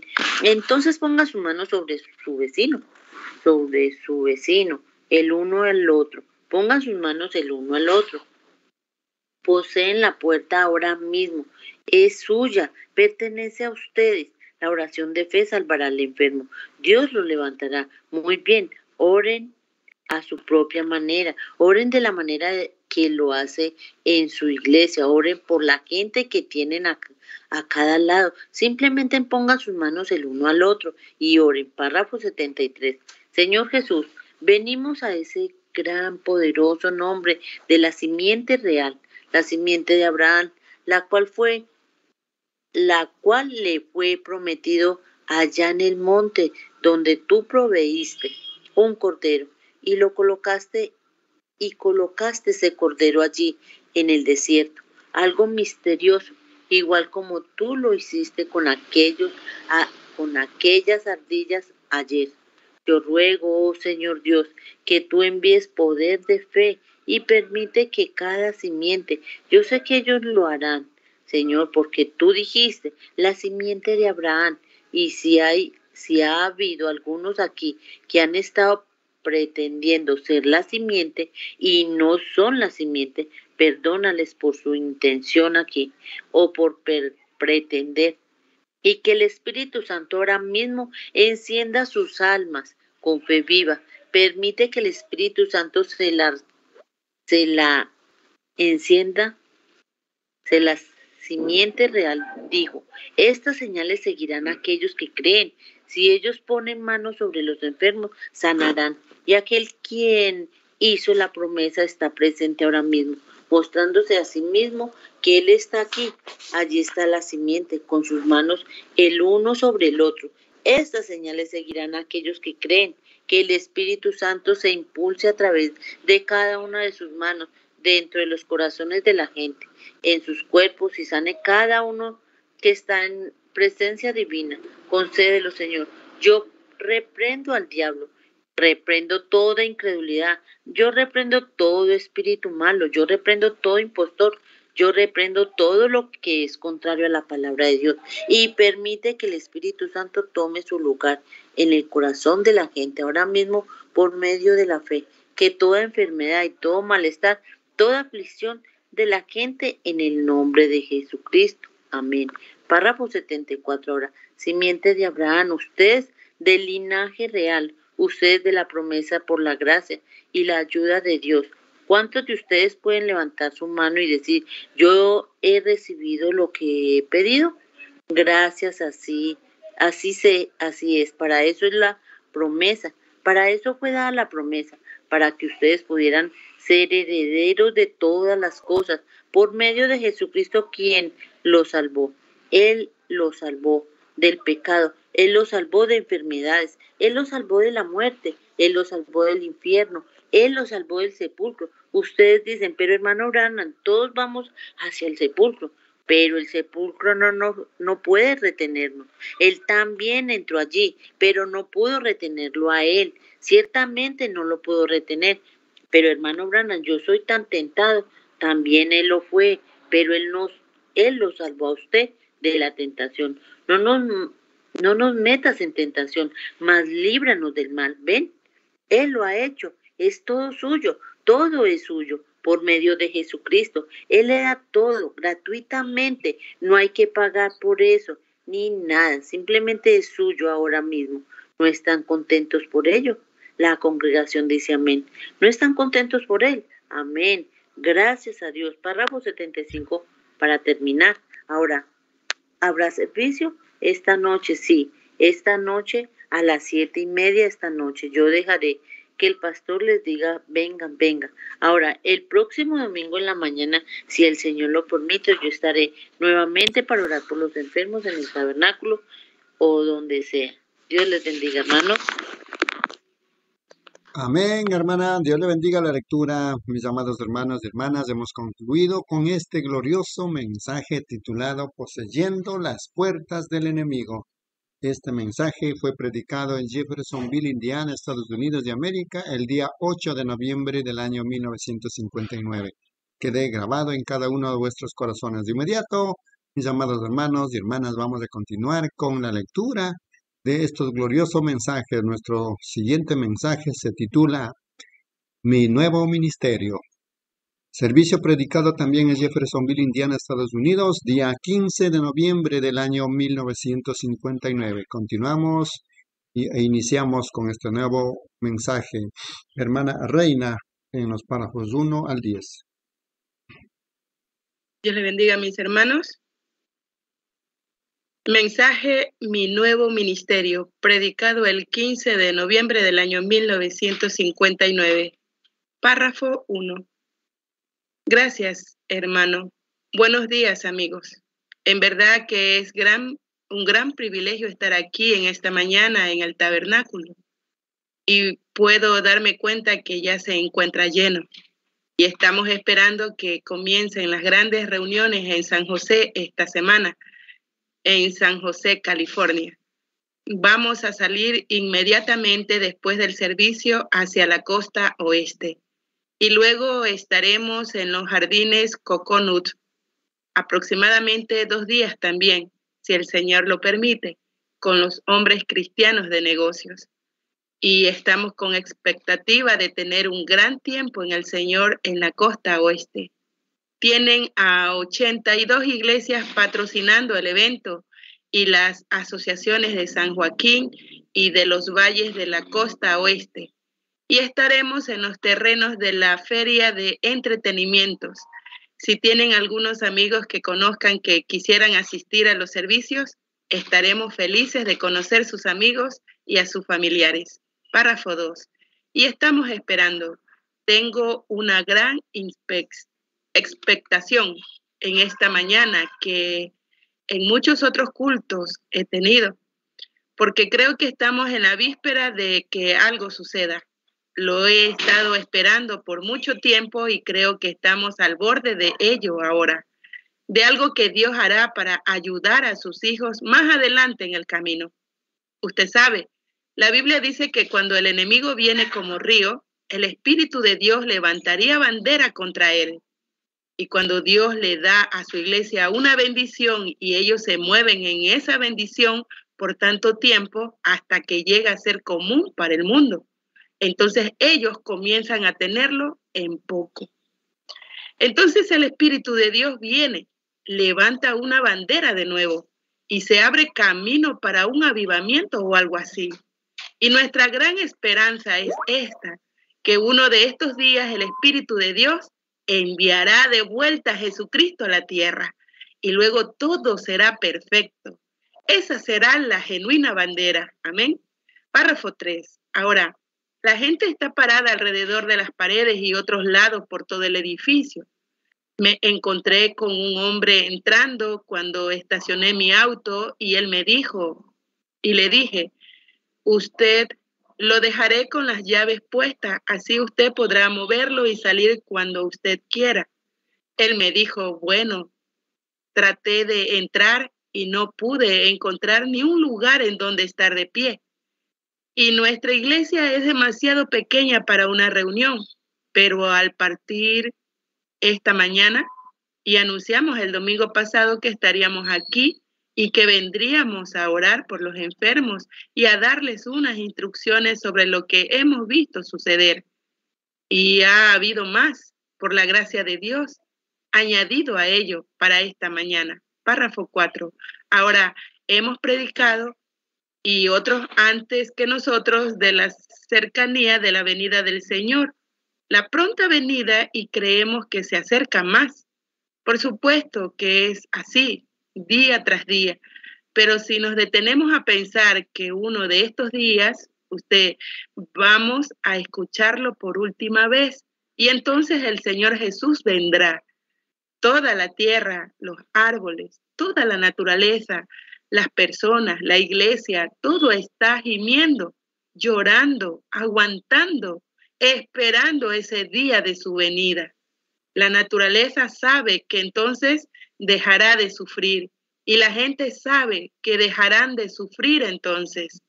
La muerte perderá su agarre y la tumba y el infierno serán sorbidos en victoria. Párrafo 5. Estaba tan feliz en esta mañana de conocer a este pequeño pastor que nos tocó la música y cantó de Seyerburg Uno de los hermanos ha estado hablando acerca del avivamiento que se está llevando en aquel lugar y me imagino que ya lo han anunciado y todo eso. Así es que eso está muy bien. Que el Señor les bendiga allá por todo el esfuerzo que hacen. Es mi sincera oración para el reino de Dios. Párrafo 6. Ahora, la palabra de Dios es lo más precioso para nosotros. Sabemos eso. Así es que hoy yo creo Estamos tan cerca de la venida del Señor y hay tanta necesidad en el campo misionero. Acabo de hablar con algunos de los hermanos y pienso que ahora gran parte de mi ministerio está dirigido a ultramar. Estamos planeando ir a África ahora mismo, después de Navidad, y hasta Australia y muchos otros lugares. El Señor se está moviendo y está abriendo camino para nosotros. Hemos tenido invitaciones desde hace mucho tiempo de todas partes alrededor del mundo y quizás podamos tomar ese viaje ahora después de Navidad si todos ustedes oran por nosotros. Párrafo 7. Ahora, tengo aquí delante de mí la palabra de Dios abierta. Ahora, he abierto las páginas porque físicamente, con la ayuda de Dios, soy capaz de hacerlo, abrir la Biblia pero no soy capaz de abrir el contenido. Hay uno solo que puede hacer eso y ese es solo Dios. Él fue quien la escribió por su Espíritu Santo y Él es el único que puede abrirnos la Biblia a nosotros. Amén.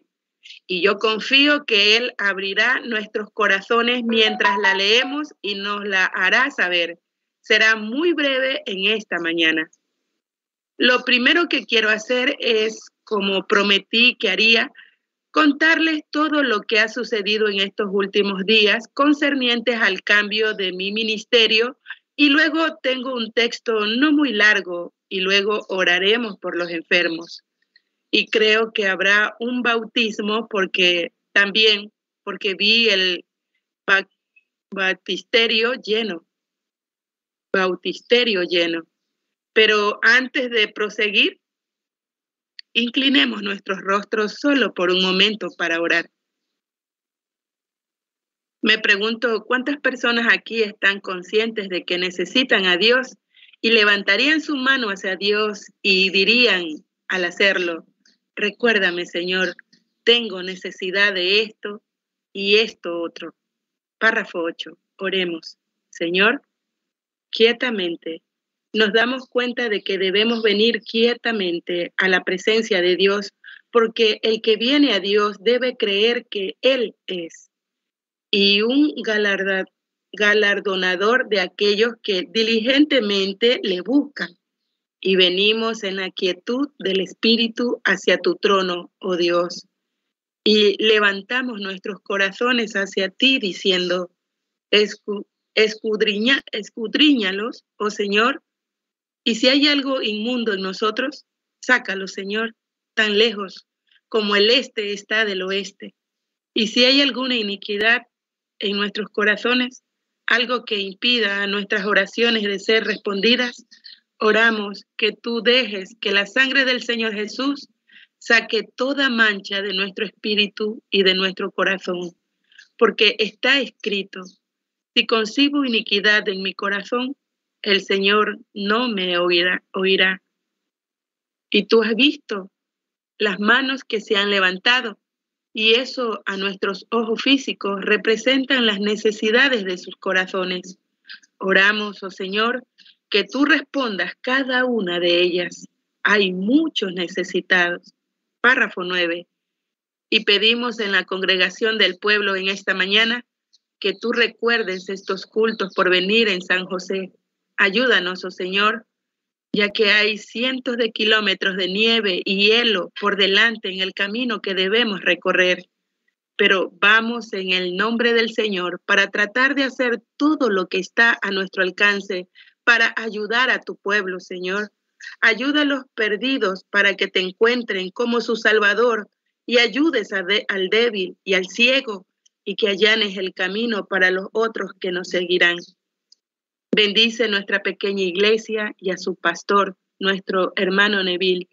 a todos los síndicos, los diáconos, los laicos, a los maestros y a todos los que están afiliados, no solo a ellos, sino a todas las iglesias que están representadas aquí, por estos jóvenes quienes están sosteniendo la obra en Seyerburg.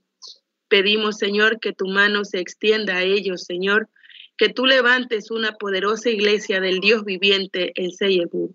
Concédelo, Señor. Párrafo Dios. Sana al enfermo, da vista al ciego, fortaleza al débil y da salvación al necesitado. Mientras leemos tu palabra en esta mañana, que el Espíritu Santo venga y entre a la palabra y la vivifique en nuestro corazón. Bendice a aquellos que se van a bautizar, que sean llenos con el Espíritu Santo cuando se levanten del agua, dando gloria a Dios. Glorifícate ti mismo, Señor. Y mientras nos congregamos en esta mañana para la purificación de nuestras almas y de nuestros pensamientos, que dejemos este tabernáculo en esta mañana con mayor determinación que la que jamás hemos tenido de servirte. Que vivamos congregados juntos, enlazados y amarrados por el Espíritu Santo, hasta ese día cuando nos encontremos en tu casa en gloria, alrededor de tu trono, donde millones estarán cantando Osana, Osana, que todos estemos allí y que no falte ninguno. Concédelo, Señor. Hasta ese momento, manténnos saludables, felices y llenos con tu espíritu y sirviéndote. Estas cosas las pedimos en el nombre de Jesucristo. Amén. Dios le bendiga, mis hermanos. Amén, hermana Reina. Dios le bendiga la lectura. Es realmente para nosotros un privilegio de continuar con la lectura de estos gloriosos mensajes. Estamos lecturando, recordando mi nuevo ministerio, Jeffersonville, Indiana, Estados Unidos, día 15 de noviembre del año 1959. Continuamos, hermana Erika, en los párrafos 11 al 20.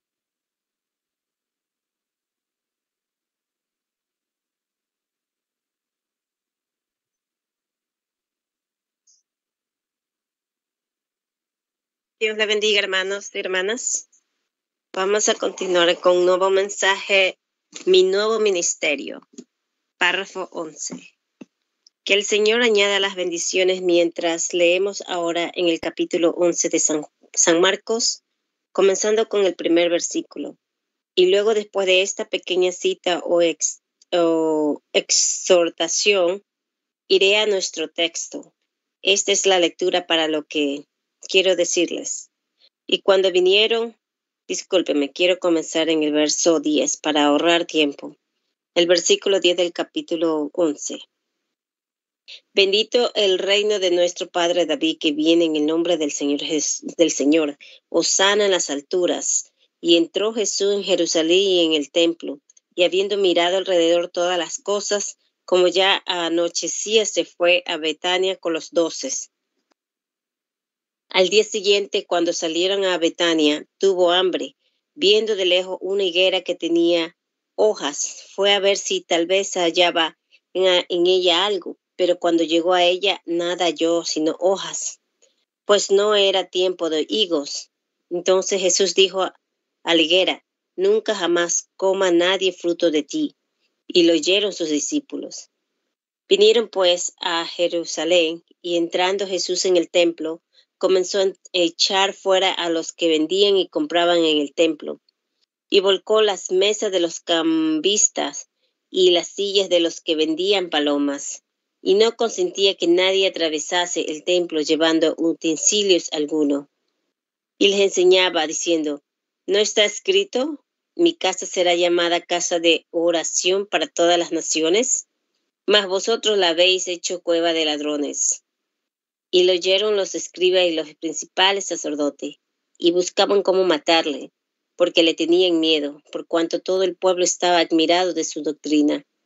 Pero al llegar la noche, Jesús salió de la ciudad, y pasando por la mañana, vieron que la higuera se había secado desde las raíces. Entonces Pedro, acordándose, le dijo, Maestro, mira, la higuera que maldijiste se ha secado. Respondiendo Jesús le dijo, tened fe en Dios.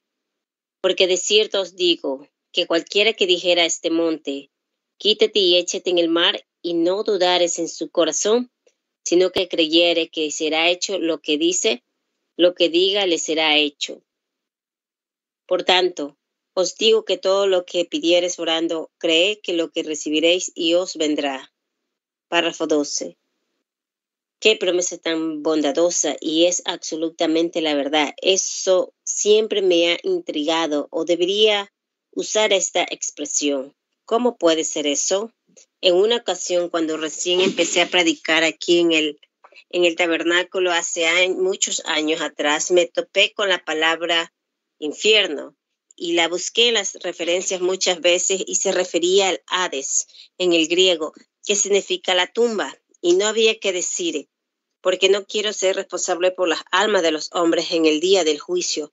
Así que investigué e investigué hasta que encontré la verdad. Como por cuatro o cinco años no toqué el tema del infierno, hasta que descubrí cuál era la verdad. Párrafo 13. Y luego esta escritura me integró aún más, porque es realmente sobresaliente. Tal promesa hecha por nada menos que Jesucristo. Y cuando Él le dijo a sus discípulos, todos los que pidieres, lo recibiréis. El que dijera a esta montaña, quítate y échate en el mar, y no dudares en su corazón, sino que creyere que será hecho lo que dice, lo que dijera le será hecho.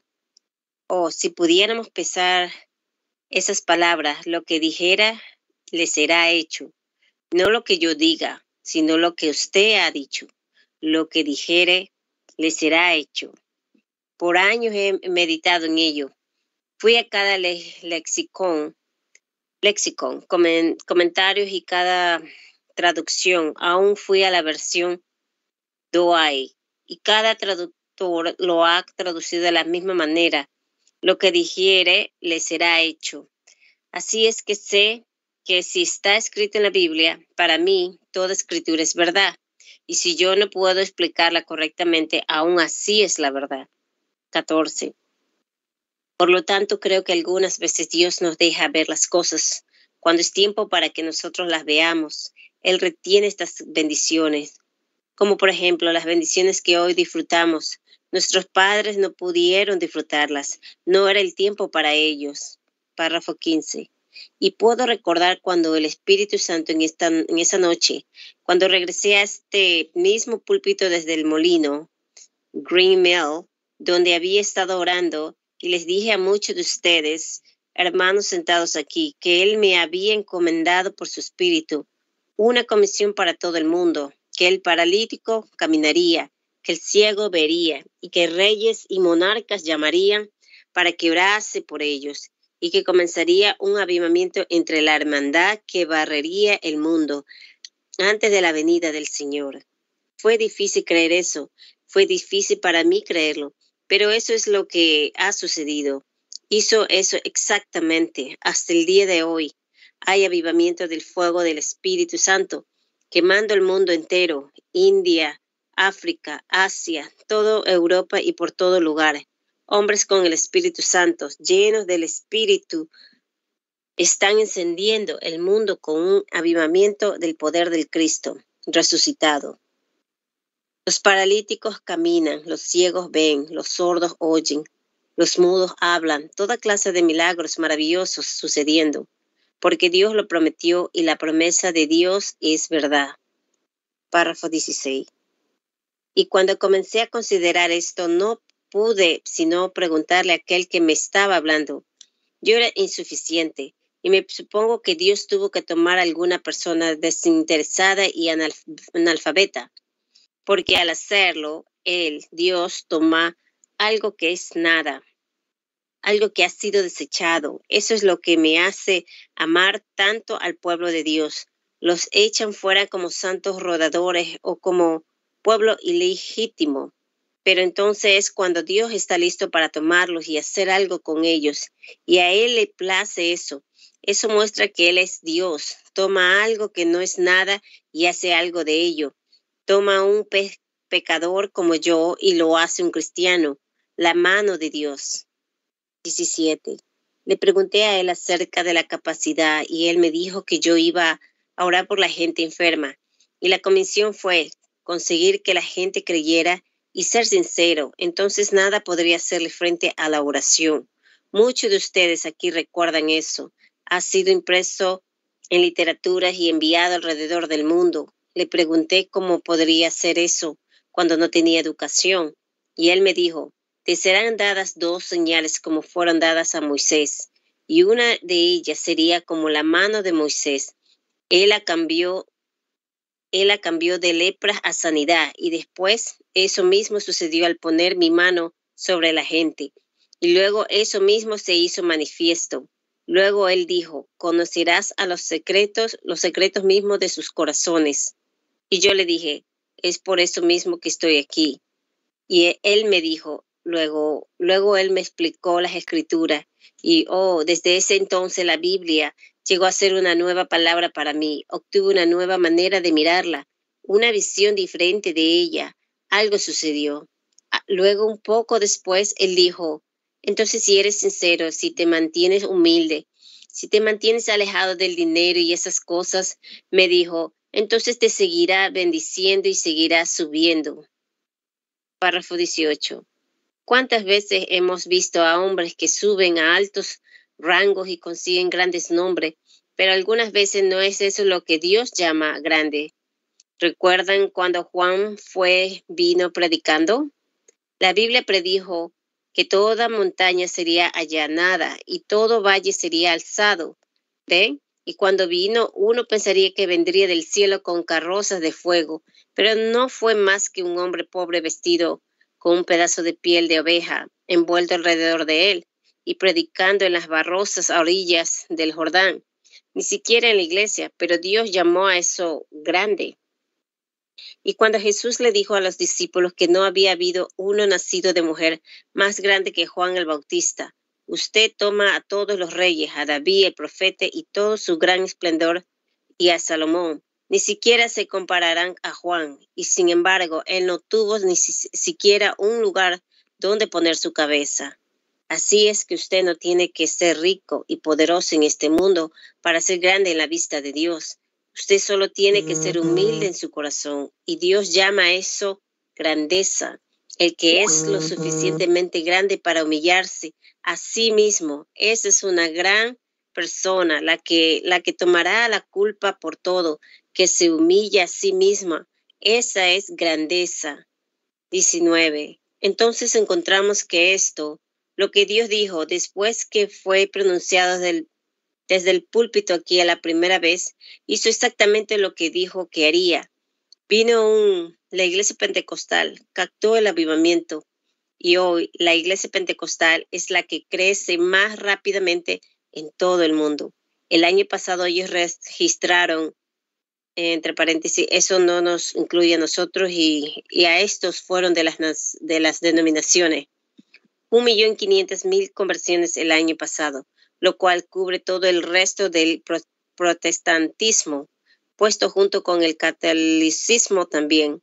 El catolicismo tuvo solo, creo, 475 mil o algo así, convertidos alrededor del mundo, pero los pentecostales fueron un millón quinientos mil, Dios preparando a su iglesia. Hombres sin educación, con bajos grados, levantados en poder, ungido con el Espíritu, yendo sin educación ni nada, y proclamando la inescrutable riqueza de Cristo. Eso es lo grande a la vista de Dios. Párrafo 20. Y entonces notamos que todas estas cosas encendieron el fuego y que el Espíritu Santo fue fiel a su palabra. Después de alrededor de cinco años de tomar a la gente de la mano, una noche en Queen City, en Regina, Canadá, un hombre vino a la plataforma y justo allí estaba su vida tan abierta como pudiera estarlo delante del Espíritu. Hubo discernimiento como Él lo prometió. Y eso ha recorrido el mundo, ha sido impreso en muchos, muchos idiomas, casi por todo el mundo, hasta el punto que todo el mundo sabe al respecto. luego el enemigo viene y se burla de ello y dice que se está adivinando el pensamiento y han salido personificaciones de ello y todo lo demás. Pero en medio de todo ello, Dios avanzó de todas maneras. Dios fue fiel a su promesa leal. Él lo será cada vez. Dios le bendiga, hermanos. Amén, hermana Erika. Dios le bendiga la lectura. Continuamos con este nuevo ministerio, nuevo mensaje que hemos iniciado titulado Mi nuevo ministerio, servicio realizado en Jeffersonville, Indiana, Estados Unidos, el día 15 de noviembre del año 1959. Voy a continuar en la lectura eh, en los párrafos 21 al 30. Dice, Ahora encontramos que un poco después, un día que iba de pesca a darle óleo con unos hombres, el señor Wood y su hermano, y ellos eran testigos de Jehová y recién habían sido convertidos y bautizados a la fe. Y mientras estábamos pescando junto a la orilla, les he contado la historia muchas veces. Allí el señor Wood dijo el Van Wood, uno de nuestros síndicos aquí ahora, comenzó a hablar de una antigua hermana que solía darles de comer una rebanada de pan casero y mantequilla. Ella pertenecía a la iglesia de Dios y dijo, Lily, a su hermano deberíamos irle a decir que hemos sido salvos. Usted sabe, hay ciertas cosas que podemos decir que simplemente captan la atención del Espíritu Santo, ciertas cosas que le agradan mucho a Él y cuando decimos esas cosas. Quiero que noten, lo que ustedes dicen, si tan solo pudiéramos encontrar qué decir, sus palabras lo juzgan a usted, sus palabras lo condenarán o sus palabras lo bendecirán. Párrafo 22. Inconscientemente Banks debió haber dicho la, cosa correcta, porque en cuanto dijo eso, yo estaba sentado en la parte de atrás del bote, pescando con línea, utilizando pececitos de, uh, de águila, azules como carnada porque se nos había acabado la carnada. Y yo estaba pescando estos pececitos y los estaba poniendo en un balde para pescar truchas. Y cuando Bang dijo eso, de repente algo me golpeó. Él dijo la cosa correcta, y el Espíritu Santo habló y dijo, Así dice el Señor, encontrarás que en las próximas horas habrá la resurrección de un animalito. Yo pensé que sería un gatito que creía que creí que mi muchachito había apretado muy fuerte y lo había dejado sin aliento, y, yo lo había dejado caer al suelo justo antes de salir. Yo pensé que eso sería. Pero para nuestra sorpresa, la siguiente mañana, mientras estábamos sentados en el bote, yo sé que Vance está aquí. Me supongo que Lily también lo está. ¿Está Lily aquí, Vance? O él, si estás aquí, Lily, levanta tu mano. Él siempre viene con nosotros. Párrafo 23. Él atrapó un, un pescado con un, con un anzuelo largo, pescó un pececito águila azul y se había tragado el anzuelo hasta el fondo. Y él tomó el pececito y en vez de solo sacarle el anzuelo por la boca, estaba atascado con tan profundo que él solo lo jaló y le sacó el estómago, los intestinos, las agallas y todo por la boca. Y luego simplemente lo agarró, lo arrojó al agua, solo un pescadito como aquellos con los que estuvimos pescando la noche anterior y habíamos cortado cientos de ellos o más para usarlos de carnada. Y la pequeña cosita se retorció cuatro o cinco veces y trató de mover su boquita, pero no pudo porque estaba llena con agallas y todo eso. Y Lile le dijo, ya lanzaste tu último respiro, pequeñín. Bueno, yo seguí pescando sin pensar en nada de eso. Luego, Dios hace cosas tan extrañas. De repente sentí algo viniendo por encima de, las, de los bosques. El Espíritu Santo bajó y me dijo, ponte de pie. Dijo, háblale a ese pececito y tendrá vida otra vez. Había estado tirado allí, muerto por media hora y había flotado hasta las hierbas de la orilla. Y yo dije, pescadito, ¿puede, ¿puedo darte tu vida en el nombre del Señor Jesús? Ese pececito se dio la vuelta, saltó y se fue por el agua tan fuerte como pudo. Párrafo 24. Yo me quedé parado allí sin saber qué hacer. El hermano Van Gogh dijo, es bueno para nosotros estar aquí. Y Lee le dijo, eso fue por mi causa, por decirle eso de lanzaste tu último respiro pequeñín, y se puso todo emocionado. Yo le dije, no, no fue por eso. Estaba tratando de consolar a Lili. Le dije, no fue por eso. Y entonces la escritura vino a mí de nuevo. Tenía entonces por lo menos 100 niños con daño cerebral en una lista de oración, muchas personas con leucemia, cáncer y llenos de tuberculosis. ciegos, sordos y mudos. Hay páginas tan páginas en mi, en mi, en mi casa. Está llena de ellas. Y pareciera ser que un Dios misericordioso concedería eso primero en vez de usar su poder en un pequeño e insignificante pez. Pero Él permanece Dios. Párrafo 25. ¿Por qué no utilizó su poder en los leprosos junto a la puerta en vez de hacerlo en la pequeña higuera? ¿Por qué lo hace? Dios quiere mostrar que Él está interesado. Él conoce todas las cosas. Él es Dios sobre la higuera. Él es Dios sobre el pez. Él es Dios sobre toda la creación. Él es Dios sobre todas las cosas. Y no hay nada demasiado pequeño o demasiado insignificante en lo cual no pueda interesarse. Así es que eso nos da a entender que a pesar de que seamos pequeños e insignificantes, Dios está interesado en que hagamos algo por Él. A Él le encanta desplegar su gloria. Y eso me golpeó tan duro a tal grado que casi no podía descansar de día ni de noche. Eso fue hace dos años atrás. Y constantemente me, eh, ha perseguido. Y yo decía, oh, no puedo decir nada acerca de eso, pues no puedo colocarlo dentro de la expiación. Lo que dijereis sucederá, lo que dijereis os será hecho. ¿Puedes tener lo que pedisteis? Y he estado parado en este mismo púlpito y he tratado, he ido a la escritura y luego la he dejado y retrocedo para, porque estaba temeroso de usarla. Usted no puede tener fe a menos que usted sepa lo que está haciendo. Párrafo 26. Un individuo vino a mí no hace mucho tiempo atrás y me dijo, hermano Branham, ¿piensa usted que es incorrecto para un cristiano fumar tabaco?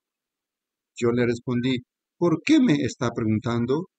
Si hay una pregunta en su mente, déjelo quieto, jamás. Usted no puede tener fe a menos que esté perfectamente seguro de que usted está correcto. Cuando todas las sombras se han disipado, entonces usted puede tener fe y confianza. Y yo no podría salir y predicar esa escritura sin saber de lo que estaba hablando. Sin embargo, sabía que eso era del Señor. Párrafo 27. Muchos de ustedes pueden dar testimonio que por los, los últimos dos años me han oído constantemente desde esta plataforma decir que hay algo, algo en alguna parte y que estoy tratando de alcanzar. Sé que está a la mano. Sencillamente pareciera que no logro alcanzarlo. Decía, me topo con una escritura y luego no sé qué hacer, porque las escrituras, aunque le pudiera dar una interpretación, si alguien me hubiera preguntado, les hubiera dicho algo y me hubiera ido y hubiera comenzado a hablar de otro tema, pero para enfrentar el asunto. Tal como debemos enfrentar el asunto de ¿Es correcto o incorrecto el bautismo del Espíritu Santo? Tenemos que enfrentar el asunto. ¿Es Jesucristo el mismo ayer, hoy y por siempre? ¿Es correcto o incorrecto? Tenemos que enfrentarlo. Debemos saber que la palabra de Dios es siempre verdadera. Párrafo 28. Así es que eso continuó con altos y bajos y lo tenía en mi mente y no podía apartarlo de mí. Y donde quiera que iba constantemente venía a mí si dijeres a este monte, quítate y échate en el mar, y no dudaréis en tu corazón, si no creyeres que será hecho lo que dices, lo que digas te será hecho. Y yo pensaba, ¿cómo puede ser, Señor? Eso sería yo diciéndolo. Yo podría, no serviría de nada, puesto que sería yo diciéndolo. Si yo no puedo decir nada, sino lo que tú has dicho, y yo, yo solo puedo decirlo por las escrituras. Y todas las cosas reposan en la expiación. No hay bendiciones fuera de la expiación, porque somos pecadores fuera de la expiación. Si fuera solo una cosa universal para todos, entonces todos serían salvos. Pero es su actitud hacia las bendiciones de la expiación lo que le trae las bendiciones a usted. Es igual con la salvación. En lo que concierne a Dios, yo fui salvo cuando Jesús murió, pero no me serviría de nada hasta que me sea revelado que Él es el Hijo de Dios y que yo lo haya aceptado como mi Salvador. Y es de la misma manera con cada escritura.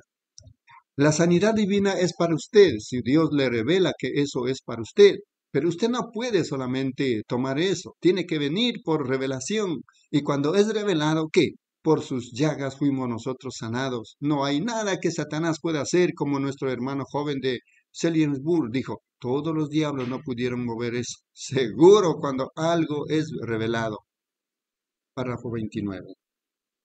Noten, luego en este último otoño, muchos me han dicho, ¿por qué es que cada mañana usted cuando usted está en casa, usted toma su rifle y se va a los bosques a cazar?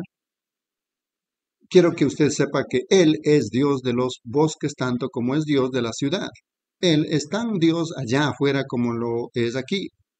Y Dios siempre lidia con los hombres de acuerdo a sus capacidades y lo que, como David junto a aguas de reposo y pastos verdes, porque él era pastor y de diferentes maneras él se ha revelado. Y algo. Me levanté muy temprano una mañana para ir al bosque, cerca de las cuatro de la mañana, a cazar ardillas. Y aún mi esposa me dijo, Billy, ¿nunca te cansas de ir de cacería? Vea usted, esta batalla se gana solo. Mi esposa no lo entiende. Yo no lo entiendo, pero es una pelea. Usted tiene que pararse solo. Nadie se puede parar con usted. Solo hay espacio para usted y Jesús.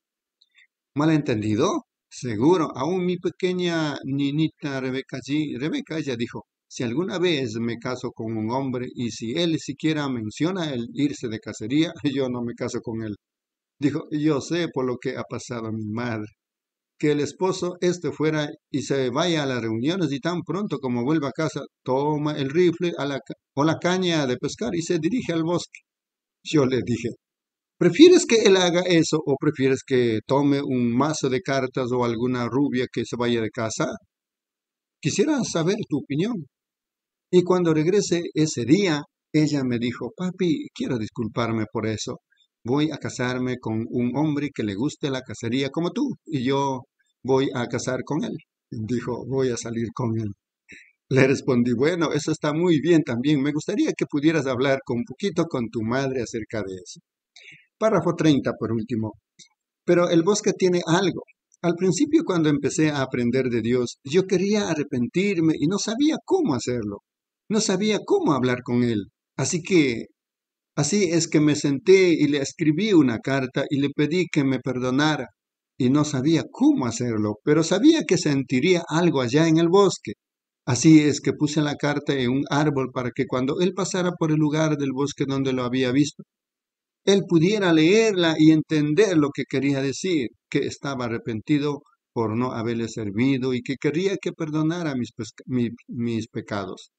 Después me avergoncé de mí mismo y la quité. Dije, si él es un hombre, él entenderá como un hombre. Él es mi creador. Y me fui a la cabaña y comencé a hablar con él como si fuera un hombre y él me respondió como un hombre. Amén, mis amados hermanos. Continuamos con la lectura de este glorioso mensaje titulado Mi nuevo ministerio, Jeffersonville, Indiana, Estados Unidos, día 15 de noviembre del año 1959. Continuamos, hermana Margarita, en los párrafos 31 al 40.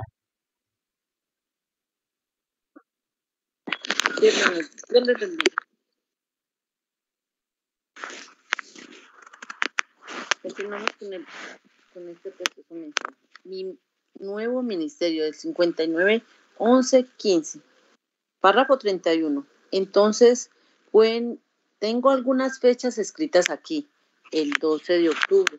El 15 se estaba abriendo la temporada de caza de ciervos en Warren, el, el 12 era el último día que yo podía casar e íbamos a partir del día 12, quiero decir, el 10. Estábamos en el bosque en el día sábado. El domingo había predicado, lo cual fue el día 11. El día lunes el hermano Sodman y el hermano Robertson allá atrás y todos nosotros partimos a los cultos o para la cacería de siervos de Worm esa mañana que sería el 10, luego el 18 se acabaría la temporada en Indiana.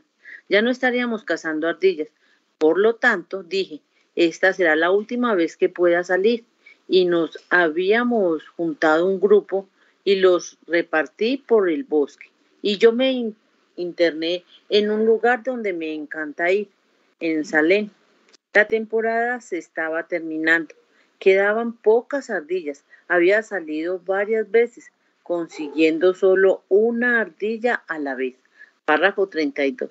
Por lo tanto, esa mañana me interné al mismo lugar del bosque y el viento se levantó y comenzó a soplar. Y todos los que conocen de cacería saben que esa es una mañana mala. Busqué por todo el bosque sin ver ni oír una ardilla.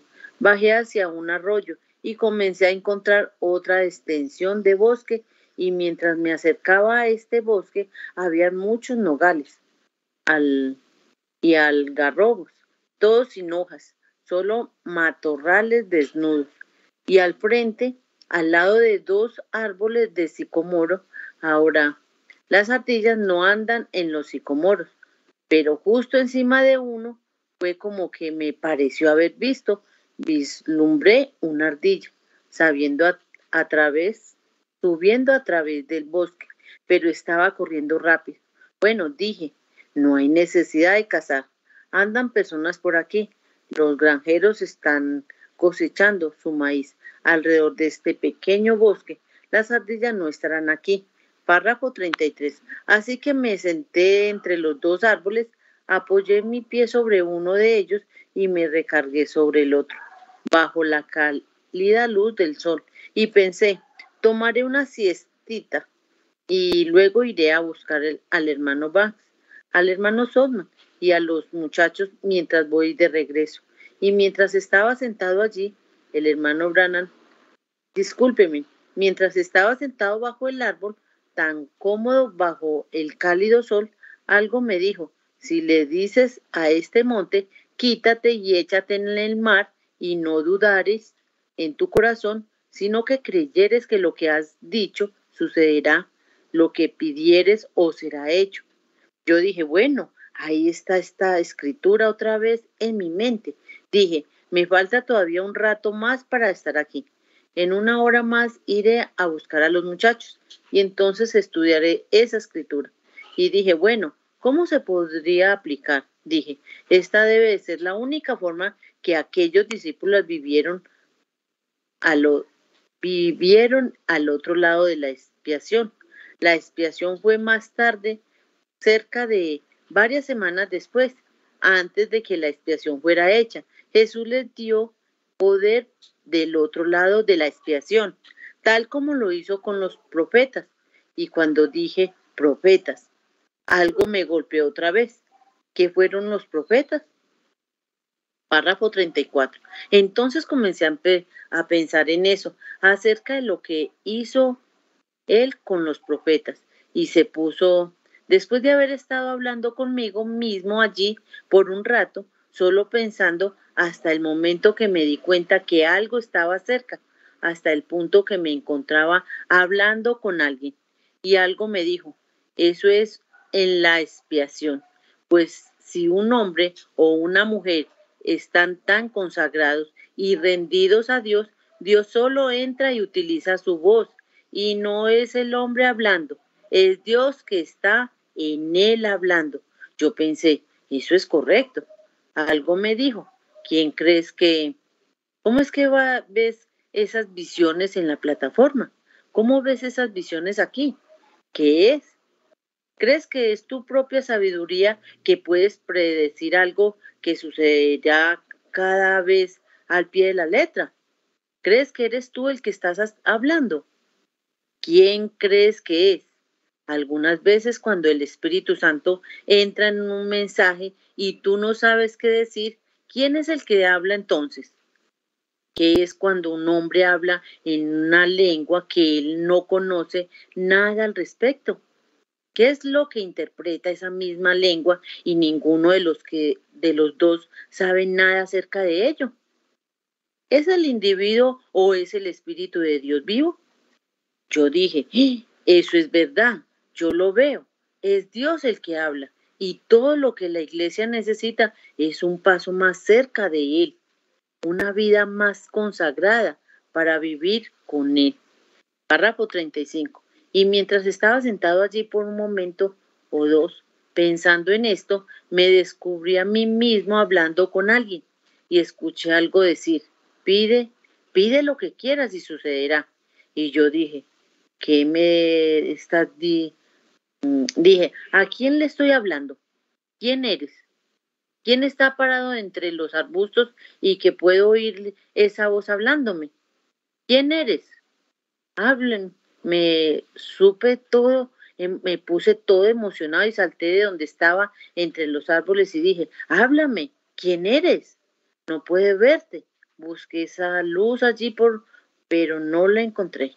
Grité, ¿quién eres? ¿Dónde estás? ¿Quién eres de mi Señor? ¿Dónde estás? Algo retrocedió y dijo, pide lo que quieres y te será concedido. Yo dije, Señor, estás cambiando mi ministerio. Este es el cambio de la, del cual has estado hablando. Esto está llegando. Es esto lo que será algo en la casita que vi en la, en la visión. Es esto. En ese preciso momento una gran, dulce y profunda unción del Espíritu Santo como que me habló del suelo y dijo, pide lo que quieras y te será concedido. Párrafo 36. Me quedé allí asombrado.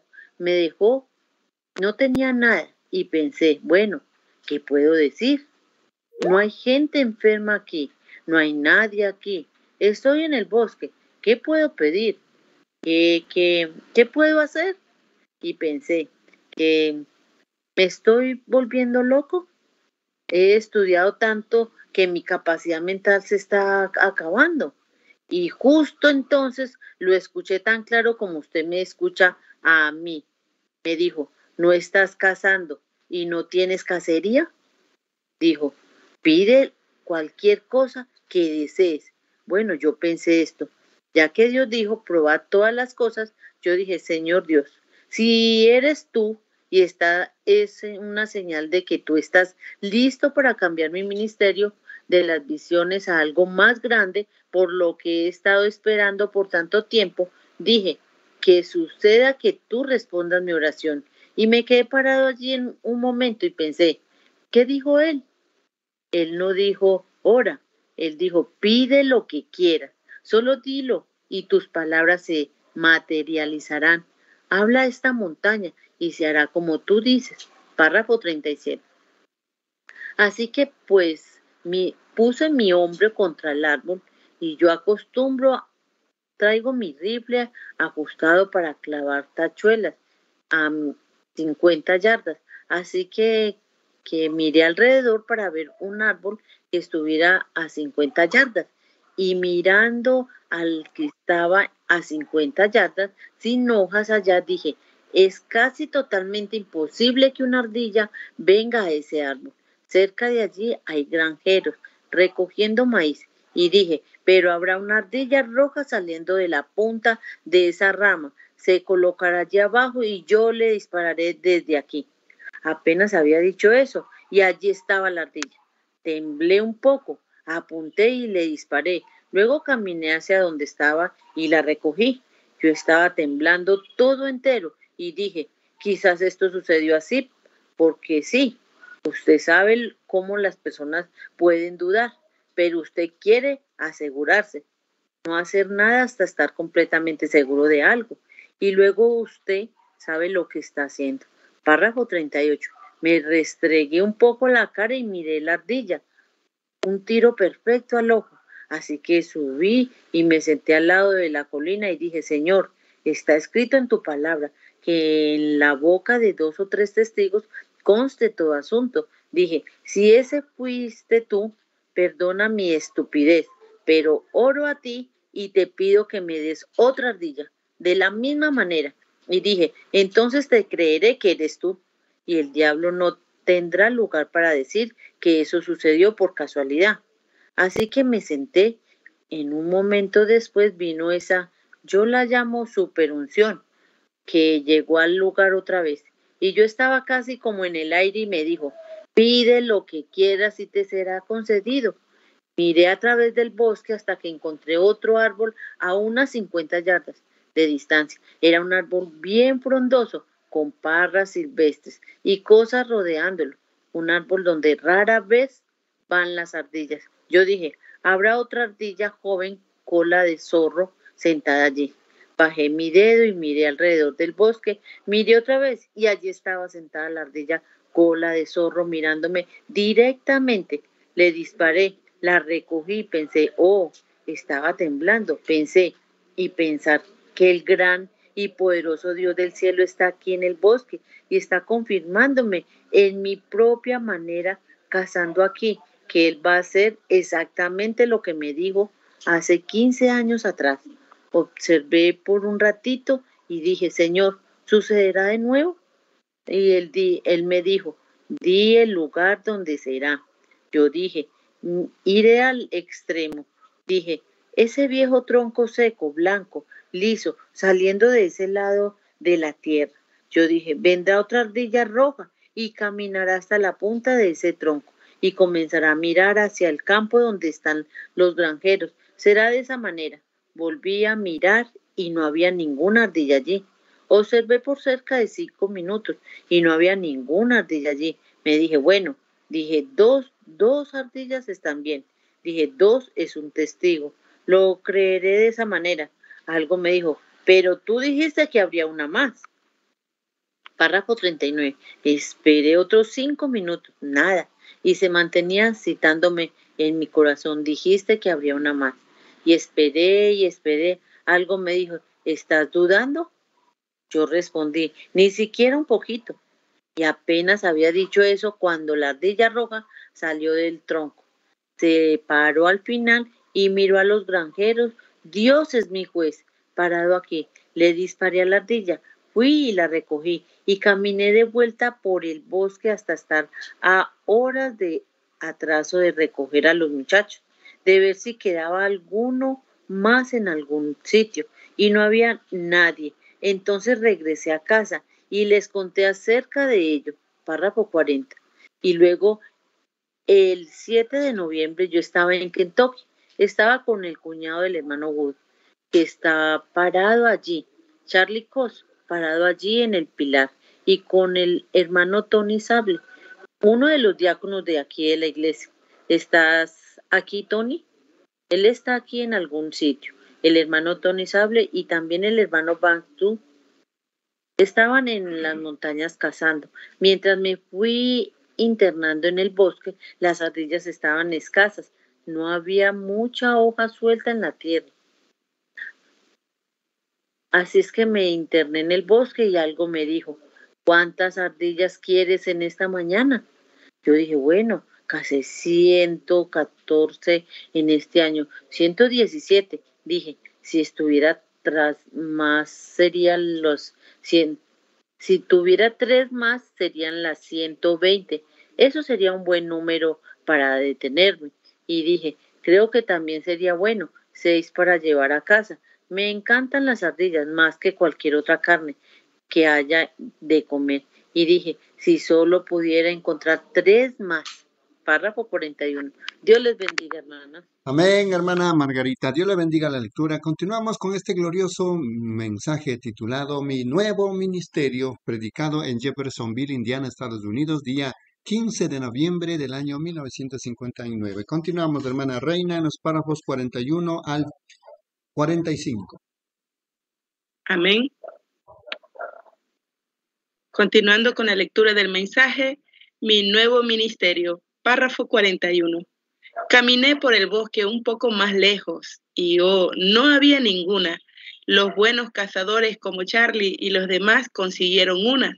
Y dije, bueno, yo, algo me dijo, dilo, habla tres ardillas y las tendrás. Yo dije, eso sucedió una vez.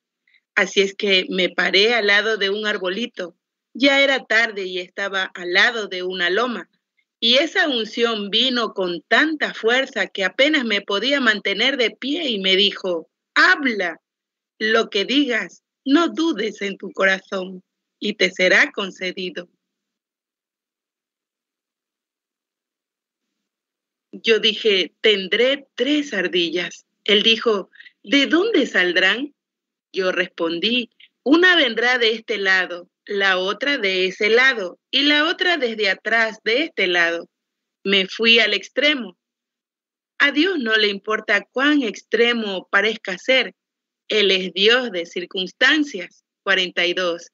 Y mientras estaba parado allí por unos cuantos minutos, no escuchaba ningún disparo por ningún lado del resto de los muchachos. De casualidad volteé a mis espaldas y muy arriba por el bosque, cerca de 90 yardas, y pensé que había algo sobre un pedazo de tronco. Lo observé. Después de un rato saltó. Era una ardilla gris muy lejos. Subió por la loma hasta la cima y cuando llegó al lado del árbol le disparé, cerca de 90 yardas, y la maté. Dije, allí está una. Me daré vuelta hacia este otro lado para buscar las otras, porque están llegando. Vea, Dios tiene una manera de traerle, de traerle cosas a usted para hacerle sentir seguro de lo que usted está hablando.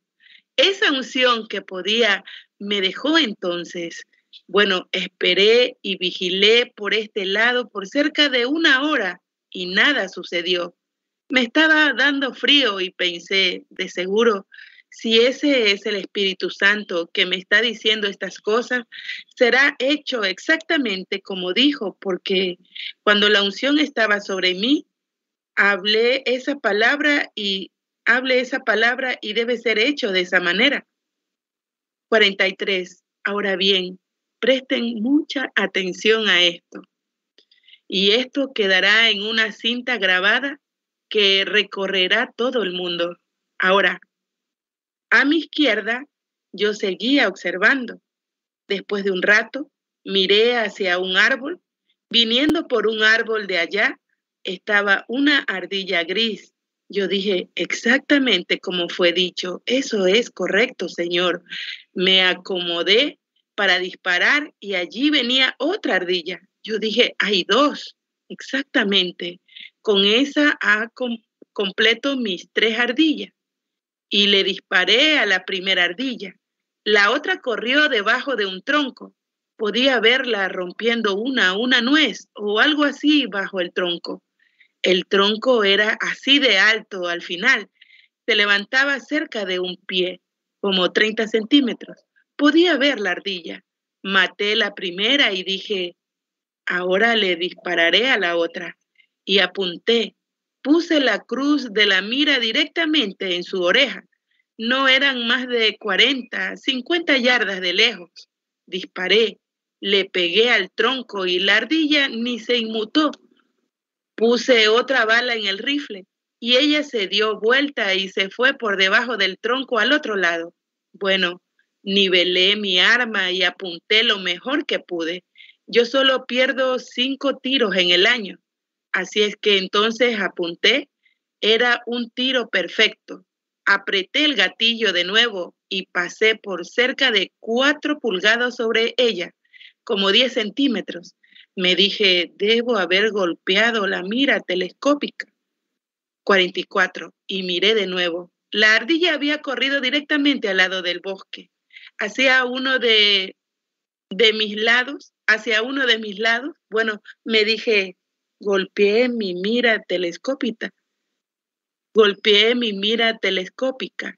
Le disparé hacia ese lado apuntando más abajo en su estómago.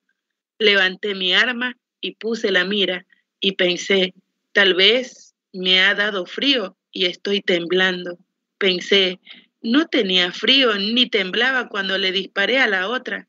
Así que entonces pasaron uno o dos minutos entre uno y el otro. 45. Me acerqué a un arbusto y la tomé en mi mano y apreté el rifle muy fuerte. Apunté hacia el estómago de la ardilla y tiré el del gatillo. Le di cerca de un pie por debajo de la ardilla y tiré del rifle para conseguir otro tiro. Y el rifle estaba vacío. Mientras lo estaba cargando, me dije, le daré si se queda parada allí. Cuando estaba cargada, la ardilla se fue por el bosque y yo me quedé parado allí pensando, ¿qué pasa? Tres tiros seguidos perdidos y yo solo pierdo cinco de 114. Me dije, ¿Cómo puede ser que haya que mi rifle esté así?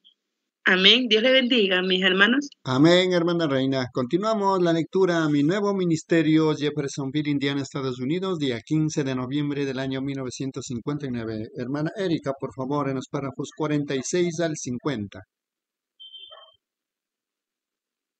Dios le bendiga, hermanos. Vamos a continuar con el mensaje de mi nuevo, nuevo ministerio, párrafo 46. Y entonces caí en cuenta, no puedes dispararle a esa ardilla hacia ese lado, debe venir de este otro lado. La palabra de Dios es perfecta, no podía dispararle desde el sur, debía venir desde el norte. Bueno, dije, me daré vuelta de esta manera y miraré hacia el norte hasta que venga. Puse más cartuchos, cartuchos en el rifle y vigilé. La pequeña, yo dije, si viene tendrá que ser muy cerquita. No me gusta dispararle de cerca. No es deporte, no es bueno hacerlo así. Sí es que los matarro, matorrales allí, yo dije, bueno, tengo que conseguir esta otra desde el norte porque lo dije así. Así es que me paré de esta manera, vigilando y dije eso.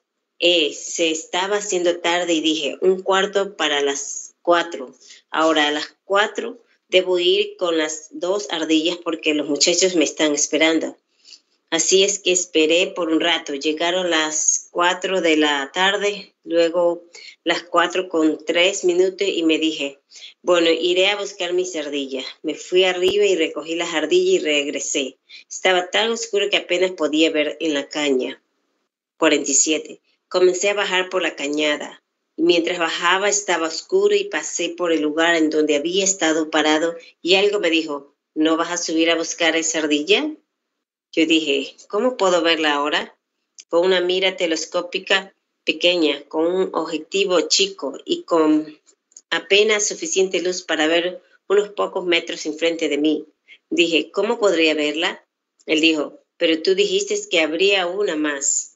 Oh, me gustaría poder hacer que eso, de alguna manera, de alguna manera pudiera hacer que vieran lo que eso, lo que realmente significa eso, amigos. Vean, bajo esa unción no fui yo quien lo dijo, fue Dios quien lo dijo. Caminé un par de pasos más, me dijo, vuélvete y ve hacia el norte, tu ardilla está allí. Me di la vuelta y dije, Señor Dios, yo no dudo ni siquiera un poquito. Comencé a caminar de vuelta hacia el norte. Ahí, aquí algunos que saben esto, comencé a caminar de vuelta hacia el norte y arriba en el cerro a 50, 60 yardas. Una ardilla subió al, al, árbol. Había suficiente luz para que yo pudiera verla. Busqué como mi telescopio por todo el árbol y no había ninguna ardilla. Después de un rato pensé que estaba viendo un nudo del árbol, muy en lo alto, estaba muy oscuro. Yo dije, bueno, trataré, de darle a estos de todas maneras y disparé. Y cuando lo hice, una ardilla corrió alrededor del árbol y se cayó. Escuché cuando pegó en el suelo y pensé que se había ido. Al mismo tiempo que sucedió eso, a cerca de 20 pies de allí, otra ardilla subió por un roble y yo dije, bajó de un árbol y subió a otro. Ahora, de seguro, Señor, no me vas a dejar perderla después de que he dicho bajo la unción que sucedería esto y tú estás confirmando mi ministerio. Estas serán seis veces que tú me has me lo has confirmado. El número de hombres, seis veces. Yo dije, no me dejarás fallar. 48. Miré arriba y, abajo del árbol y arriba allí pensé que estaba viendo algunas hojas y vi algo moviéndose allí y levanté el arma y disparé. La ardilla cayó al suelo, muerta como piedra. Por la colina subí, feliz y regocijándome. Fui al primer árbol hacia mi izquierda y allí estaba la ardilla. Bueno, pensé, ¿sabías que había cazado esa otra? Pero no estaba seguro de esta. Dije, entonces, Señor, me has dado una de buena voluntad. Fui a buscar la otra ardilla y no estaba allí. Busqué y busqué aún debajo de las hojas. Levanté pedazos de madera y despedacé y abrí un viejo tronco. Y no había nada a 30 yardas a la redonda, sino un viejo tronco. Lo despedacé entero, miré por los lados, palpé las hojas, no había ardillas por ningún lado. Arriba, en la cima de la colina, hay un gran y viejo tronco. Subí allá, en, el, en él hay un, un pequeño agujero. Casi podía sentir a mi ardilla moviéndose de arriba para abajo, dentro de allí. Cuando estaba yo dije, bueno, no puedo encontrarla, así que así es que en la mañana traeré a los muchachos aquí y la encontraremos. Tengo que irle a decir. Y me fui hacia donde estaba el hermano Charlie tapé el agujero y fui donde el hermano Charlie y los demás y les conté. 49. Fuimos a su casa esa noche para cenar. Nos estábamos regocijando en la presencia del Señor y cuando, antes de ir a dormir, el hermano Charlie allí le pidió al hermano Tony Sabley allá atrás que nos guiara en oración. Ahora, no digo esto para hacer un conflicto o para eh, herir al hermano Tony. Él es uno de los más finos caballeros cristianos que yo conozca, pero solo para mostrarle cómo obra el Señor. Tony, en su oración esa noche dijo, Señor Dios, que se ha hecho notorio a nosotros que nuestro hermano nos está diciendo la verdad, que mañana le encuentre sardilla en el tronco. Eso fue, yo jamás dije bajo la unción que encontraría una ardilla en un tronco.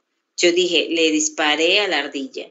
Por supuesto no pude encontrarla, porque si lo hubiera hecho habría sido más de lo que, lo que dije exactamente lo que dije bajo la unción. Eso es lo que Dios produjo. Así es que no dije nada acerca de eso.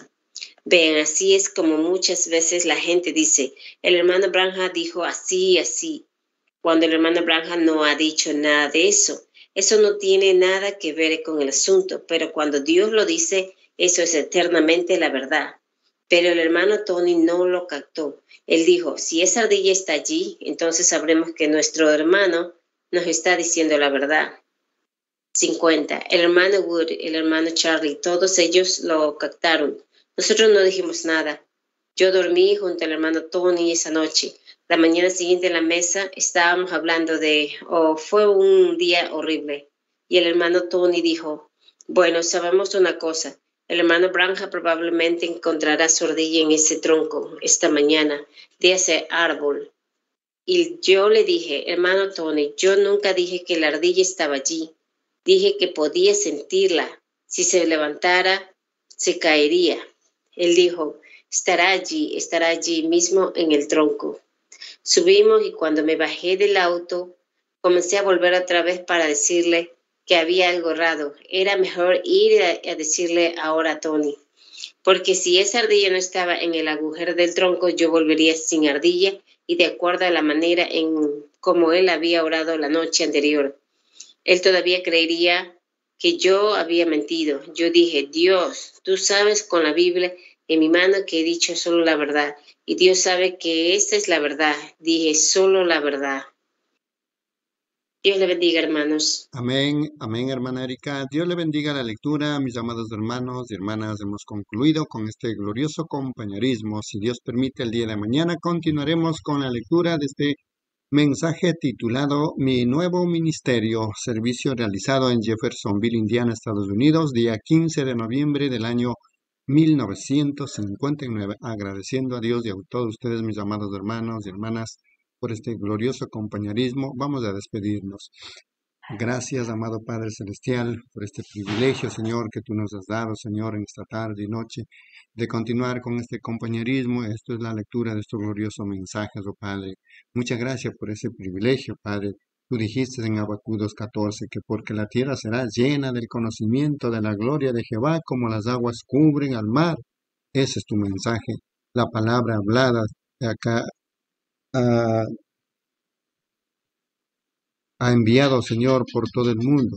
Nuestro profeta dijo que como siete veces se había dado la vuelta, entonces ahí está la evidencia, oh Padre, de todas las promesas que tú has cumplido, Señor. Muchas gracias. Si el día de mañana hay un día más, oh Padre amado, estaremos y regresaremos contentos, felices, Señor, porque tu palabra es dador de toda dádiva, dador de vida eterna, oh Padre. Tú antes de la constitución de este mundo, cuando tú eras el omnipotente, omnisciente y omnipresente, tú hiciste este programa y por eso te agradecemos por haber hecho partícipe de este programa tuyo, Padre. Te pedimos, Señor, que más adelante tenemos un culto, bendice grandemente al alma, al corazón, que estará entregando tu palabra y recibiendo a los hermanos y hermanas. Gracias, Padre, en el nombre del Señor Jesucristo. Amén, mis amados hermanos y hermanas, que el Señor Jesucristo los bendiga ricamente. Amén. Dios les bendiga a mis hermanos y hermanas. Hermana Erika, hermana Margarita, Dios les bendiga. Hermano Alfonso, Chalón. Dios te bendiga. Dios te bendiga, hermanos. Dios la bendiga, hermana Reina, hermana Margarita, hermano José, hermano Alfonso, a todos. Dios les bendiga. Shalom. A todos. Que tu palabra no es historia, es profecía manifestándose